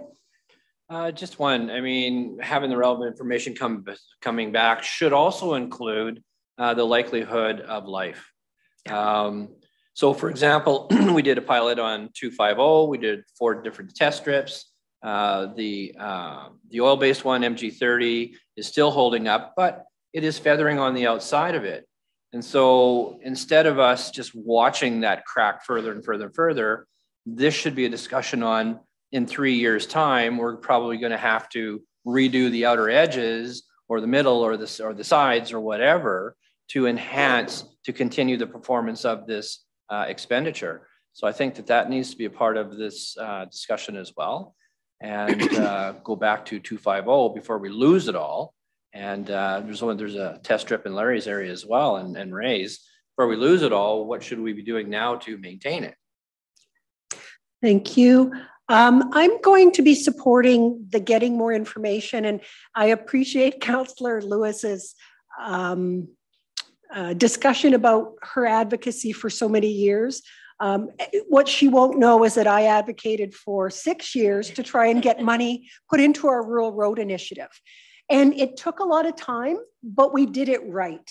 It wasn't money thrown in without a plan. It was money that then uh, was supported by all of council and moved forward. So sometimes um, the right work takes a little bit of time. And because we are managing our taxpayer dollars, I think that getting this information and understanding what might be the first best road to use this on will help us create uh, confidence not only in our uh, residents, but in the quality of road we present. So I, I would be supporting uh, the getting more information. I would be wanting um, an absolute more fulsome discussion to put those ideas um, on the table for administration at our next public works discussion so that we do not lose this in the in the work that we do. And i see that i am getting a couple of notes down. Uh, so please let's i'll just talk to the chair sitting next to me councillor lewis. We need to have that and we need to have a fairly long period of time for that as well. Any further comments on that? Go ahead, Councillor Scobie. I guess, yeah, I would make the comment. We need to take the time and look at these roads. We've had our rural road uh, uh, condition report done. Um, that's changed over the last couple of years uh, from a real wet year to a real dry year. Uh, the conditions really improved, but I think we need to pick what roads they're looking at and go and, and do a more thorough test on them uh, in the summertime uh, so that we don't end up with the piece with the piece that I'm after to get done up on Range Road 15 was paved and fell apart because of uh, it not being fit condition. uh, road conditions to cover. So we need to take and look at the specific pieces of road and do a more extensive test than just what we did with our rural road uh, evaluations. Yeah. Thank you. So I am going to call the question on counselors who would like the Last Link program to move into the 2022 interim budget. That means at this time. You can vote yes right now. Councillors Lewis, Smith, Vandenberg, and Wanchuk. So it will move up. Opposed? Well, well do that. Uh, Scobie, Doblanko, and uh, Belozer. Will we then, Mr. Coleman, look at how we decide which road um, through Public Works? Was that become an operational recommendation to council? Um, two paths really at this point. If it's going above the line, uh, then we can budget the dollar amount. That amount is for the projects that were identified. Okay, Now, council may wish to just secure the funding and Okay. have more discussion around Okay. the road piece at Public Works Committee, but that's a decision you, you can make now. okay. Um, so it's, the money has been secured. Um, going to ask, um, we, what I, what I hear is the next decision point is go ahead with the, um, plan as presented in the budget or secure the money and look at more information to decide how to move forward between now and final budget. So I'm going to ask the question on, um, moving forward, uh, and asking for more information, uh, between now and final budget. All in favor? Oh, yes, you may. Uh, just to clarify, uh, public, the recommendation shows that there's three, or that it's broken down into one, two, and three years. Can you maybe explain how those not, like, how it was prioritized before we decide, please? The, the, the years, not the projects.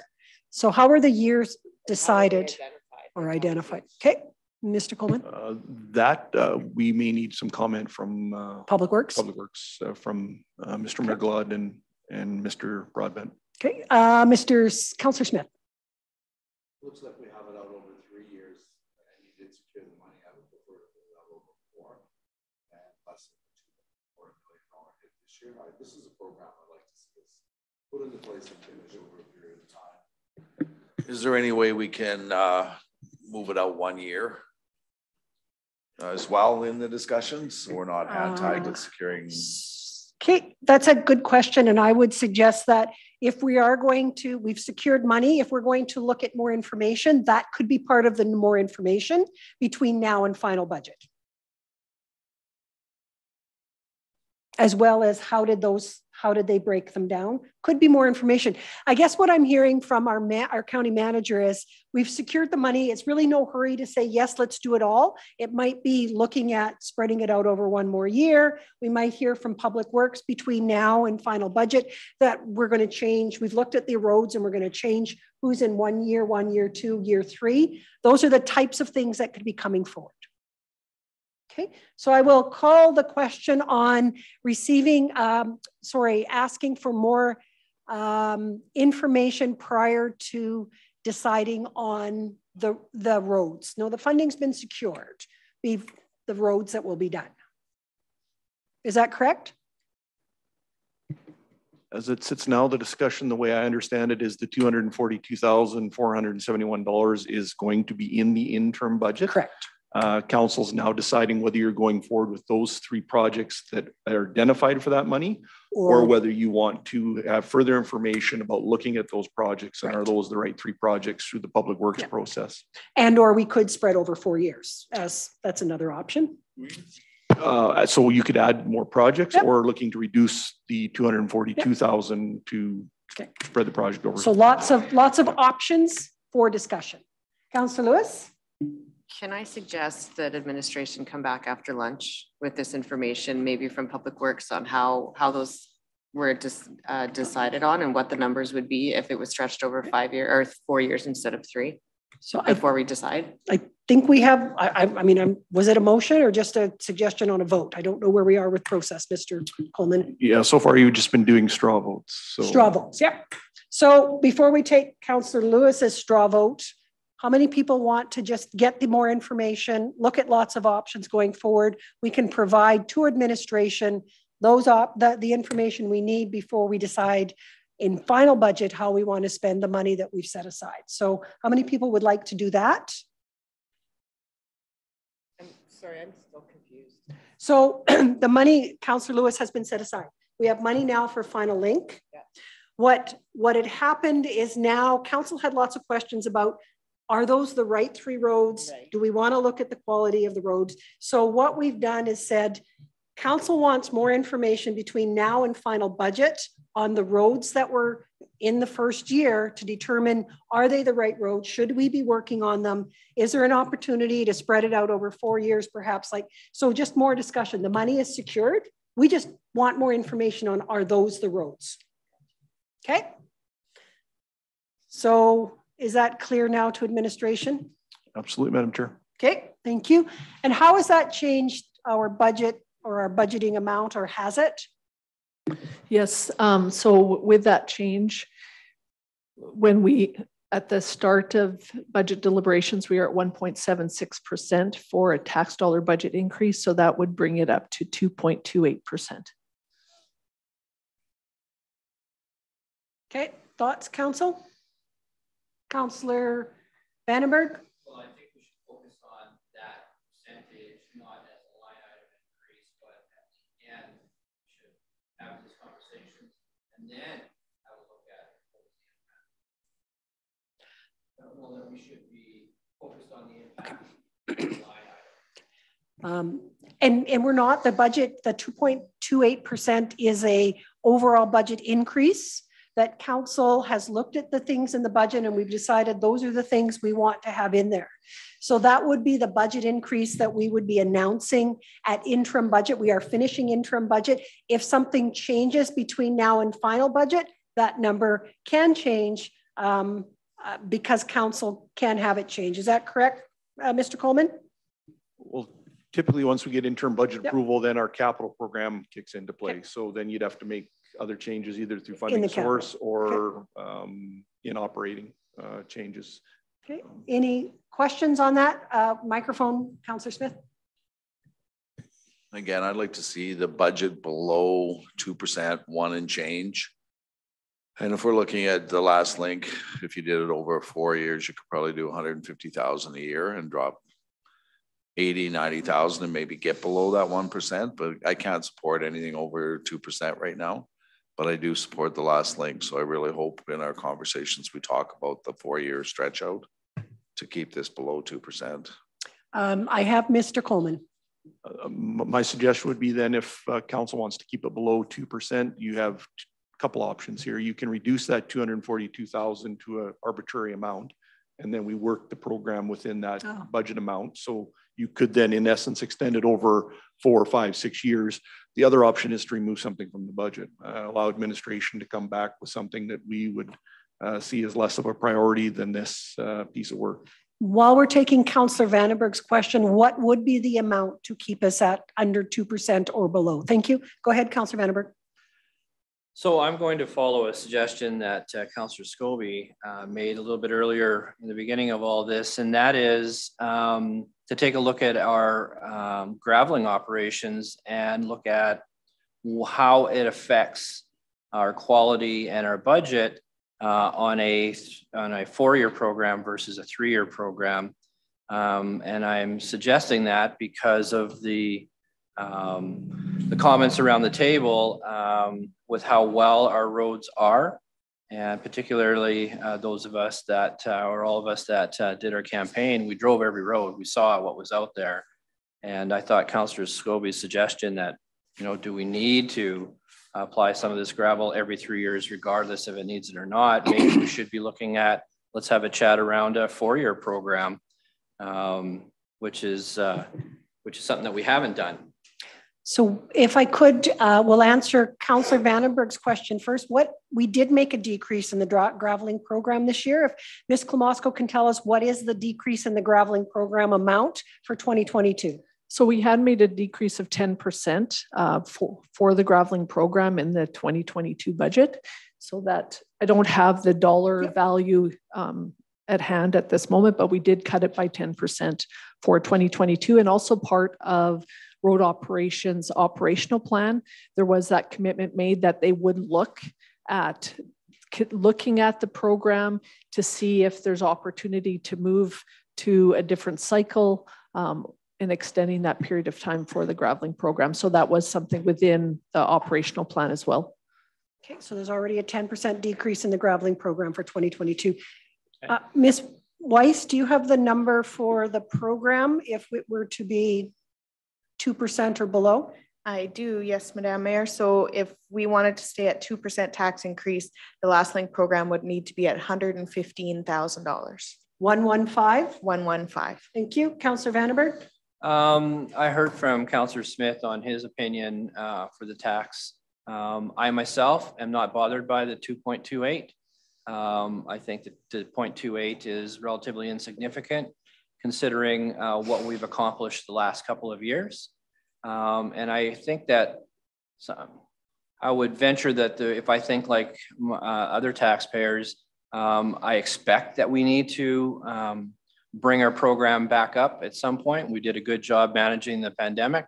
And, uh, but a 0% increase means that uh, there are some costs. And uh, the fact is that uh, um, inflation uh, has, has a, a, say in all this. So 0.28%, 2.28% does not make me afraid at all. Thank you. Um, I support um, Councillor Smith's uh, 2%. I think $115,000 in the Last Link program, which does not benefit all of county residents, not like the graveling program would, allows us to perhaps work on one road, perhaps two roads, depending on it. So it moves the program ahead and it keeps us at uh, what I believe would be a reasonable tax increase. Um, I, I'm not I'm not willing to put the taxes up.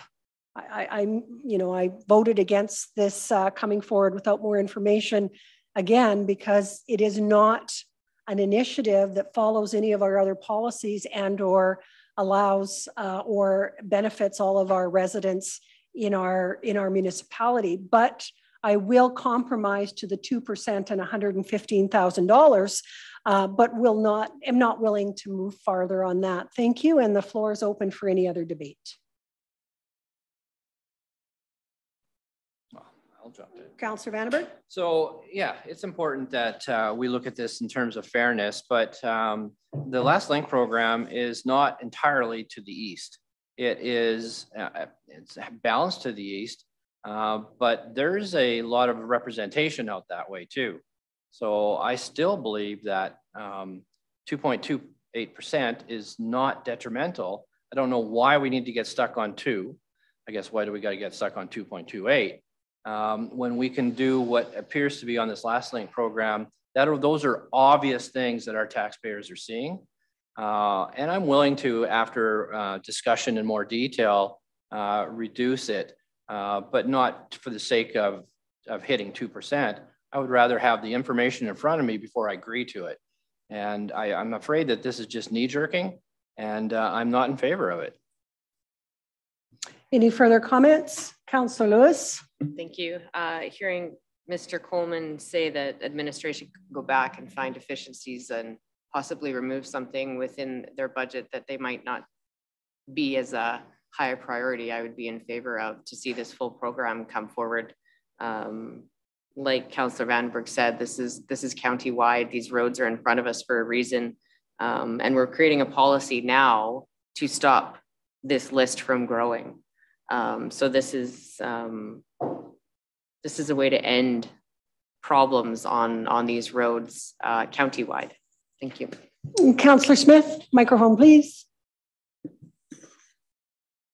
Well, we spent the last few days going through, and if something could have been cut, I, I think we probably would have done that.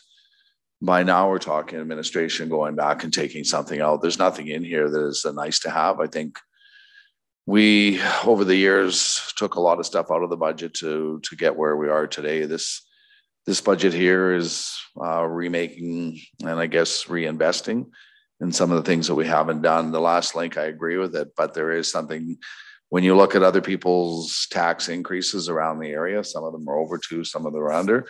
I still think people find their taxes that they're paying important.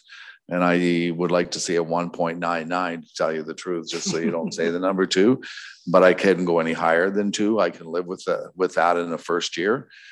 And again, everything, just to your comment, everything that we've talked about over the last few days there's nothing in here that's uh, that we can take out because we don't really need it or there's not a risk that has to be addressed so again 1.99% get going on this last link. It doesn't need to all be done in the first year. Um, i had a project taken off the books because we needed to find the 400 grand. I know nisku had some roads taken off because there's money there. So in a budget where everybody gets a little bit I think the Last Link program is a major win getting it in. And I think spreading it out much the same as we did with the breathing apparatus just gives us a little bit of a, leeway. Uh, then this program again could be done in four or five years. Ray, you said you had a road on there. Maybe if there's success, stuff gets added over the years, and it becomes not a four year, but an eight year program where we identify other last link type of things. So for me, I'd like to see a 199. I can live with 2%. I like the last link in. I like spreading it over um, a couple more years, which we've done. So that's where I'd be going today. All right. Uh, no other hands but Councillor Vandenberg. Go ahead. Why is turning into an optics versus actual services? This is turning into optics. This is optics versus actual services and you're hung up on a percentage. I'm looking at it as a whole in terms of the services, the services we're providing. Um, how that ends up is it's wrong for us to say, let's plug it into, now let's reduce it down to 1.99. We got to look at the services that we're providing. And to me, that justifies um, the 2.28. So I, I'm not sure why we're, this is optics. Uh, I'm not worried about how it looks. I'm worried about, I'm interested in getting the services that we talk about providing. So just thank you. And just a reminder to council that when we did look at the road program, we did not spend any time discussing, discussing the last link. So this really is our first opportunity to discuss it and have that opportunity because it was below the line. So um, we need to understand and have that opportunity and listen to everyone's uh, perspective as we move forward. Councillor Scobie. Okay, I would support putting this in, but I also uh, want to stay at that 2%. I don't look at this as a necessity uh, program. This is a nice to have program. And for a few people in the county, it's not county-wide, it's uh, East End County. And it's a nice to have. And uh, I think this is enough. We can spread it over enough years that we'll get it done eventually, but uh, it doesn't have to be all in two or three years. Thank you, Councillor Scobie. And again, I agree with it. And it is, I will just say it is county-wide. I have two roads on the list that are actually uh, in Division 5. Um, and again, I know that those roads probably need significant upgrading before we put anything on top of it if we want it to last more than three years. Um, and because otherwise it's not uh, good money. Again, $115,000 is a good start. Um, if we have good success, then we go ahead and we continue to invest. Uh, like Councillor Scobie, I, I also believe it's a nice to have. Um, and it is um, a bit of a cleanup, as we heard from Councillor um, Lewis as well. And it is a way forward that compromises the desire to get this done that we're hearing from our council and trying to keep a reasonable tax increase. So this is a compromise that was put on the table. And I actually think uh, it's a good compromise. It allows everybody to move forward with, I think, um, feeling like they're doing the best for the residents and best for um, the county as well. And we are open for any further comments, debate.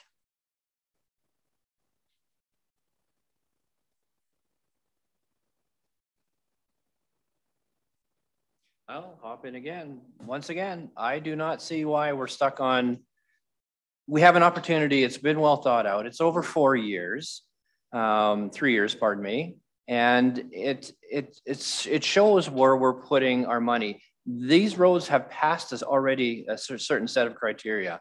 It's okay to double check that, um, but it's it's it's highly visible. It's what our taxpayers can see. It is for the benefit of the county, not east versus west. And I don't see why we need to compromise what the, the work that's already gone into it. I'm still at the 2.228. Councillor Lewis.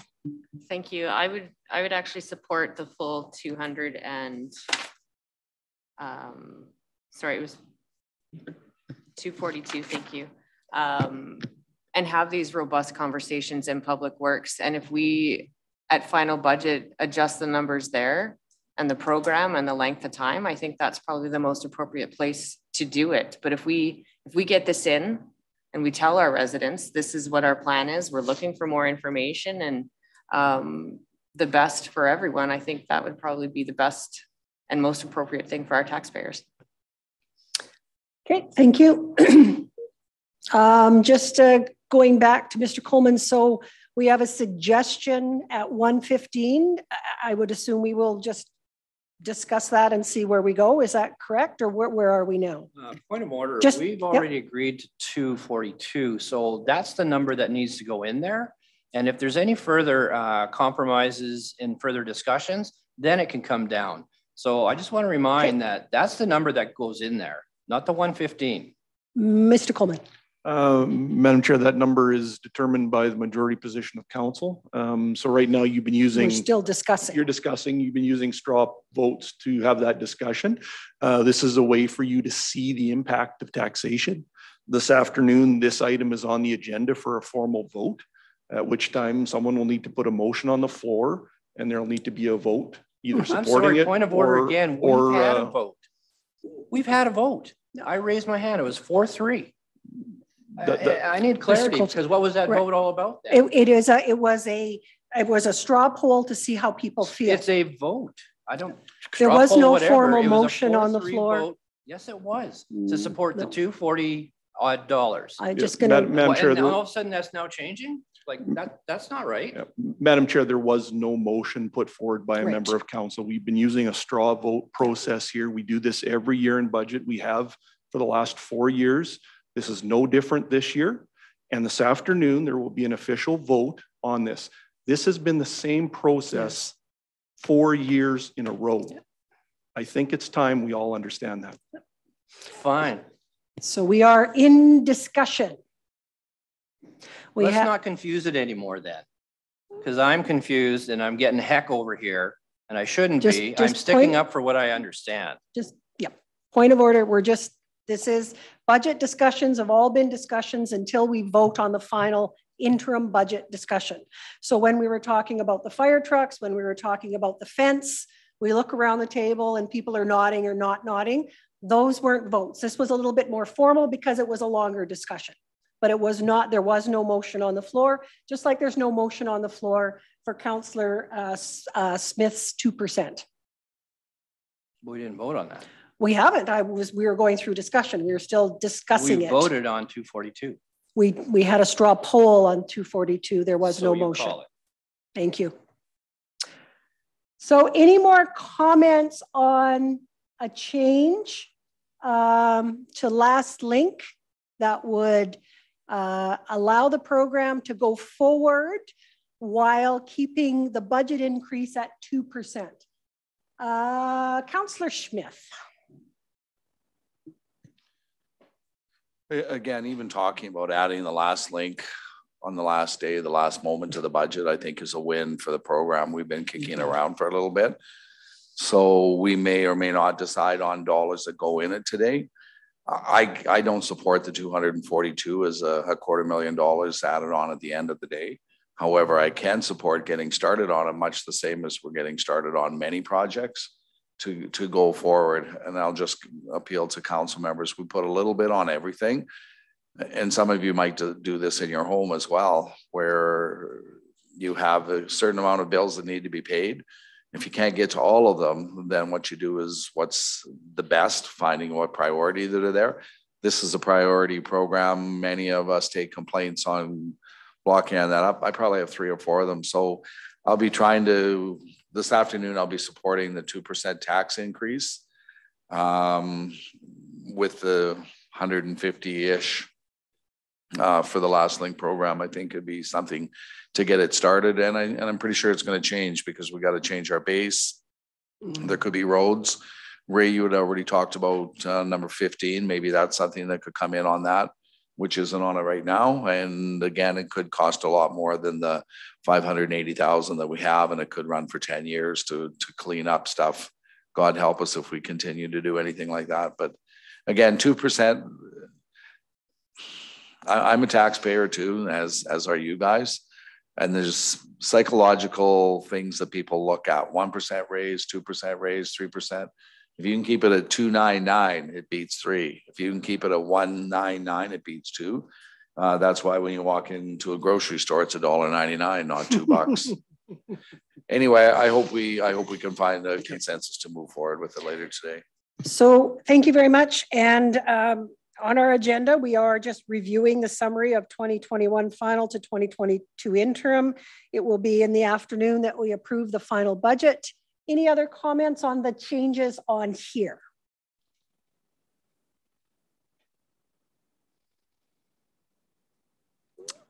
Seeing none, I will recess us or is there anything, Mr. Coleman, stopping us from doing approval of fees and charges and utilities fees and charges?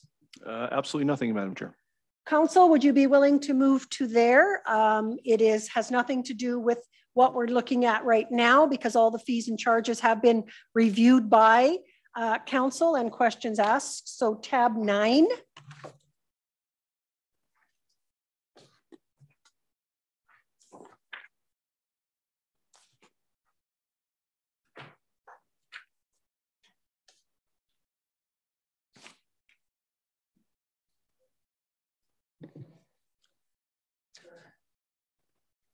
So going to the first uh, approval of bylaw fees and charges, which excludes utilities, the one addition or change we made from what council saw earlier in our deliberations was based on the comment that around the cancellation, we thought it would be a good thing to add into the fees and charges, just, just to be clear that cancellations within certain periods of time relates to not a return of your your fee. So we we've added that change into the fees and charges. So that is the only change from what council reviewed throughout all of the department presentations.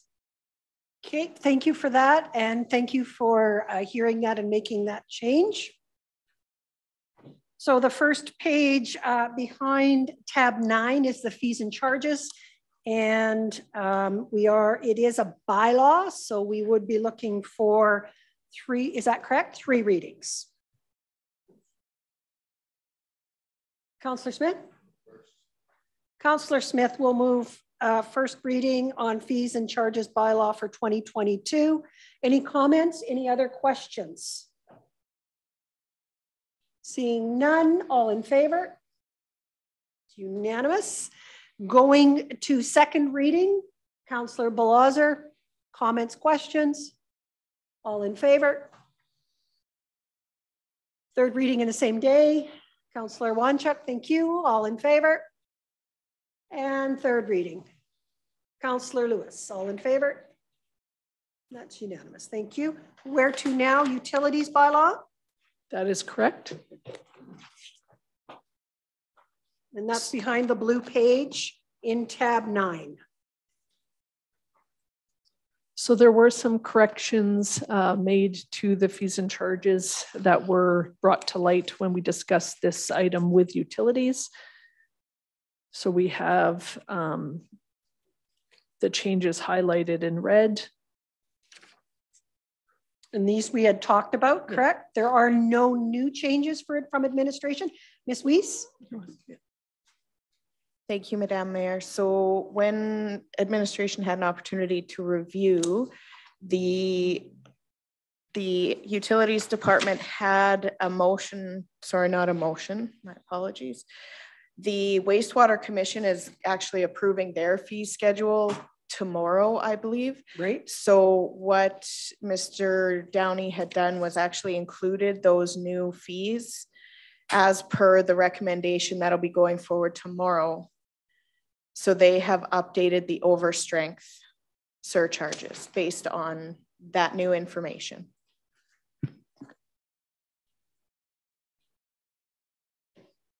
Okay. So that is on page five, five of seven. seven.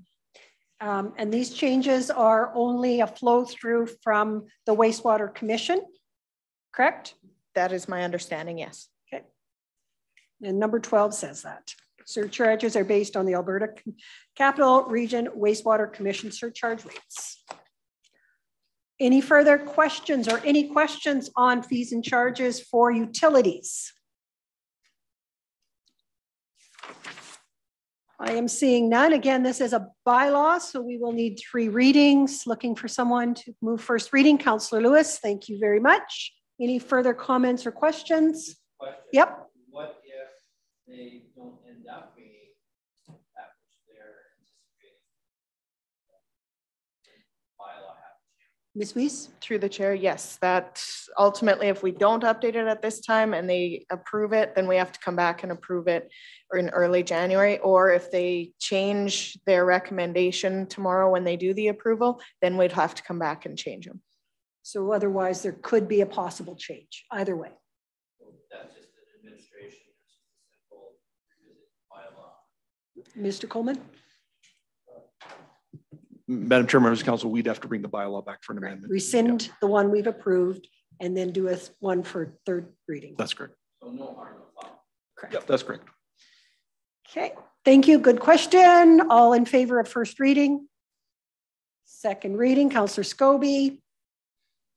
Comments or questions? All in favor? Third reading the same day. Counselor Smith, all in favor? And third reading. Counselor Belozer, all in favor? That is passed. With that, I will recess until one o'clock, um, at which time we will be approving our 2022 interim budget.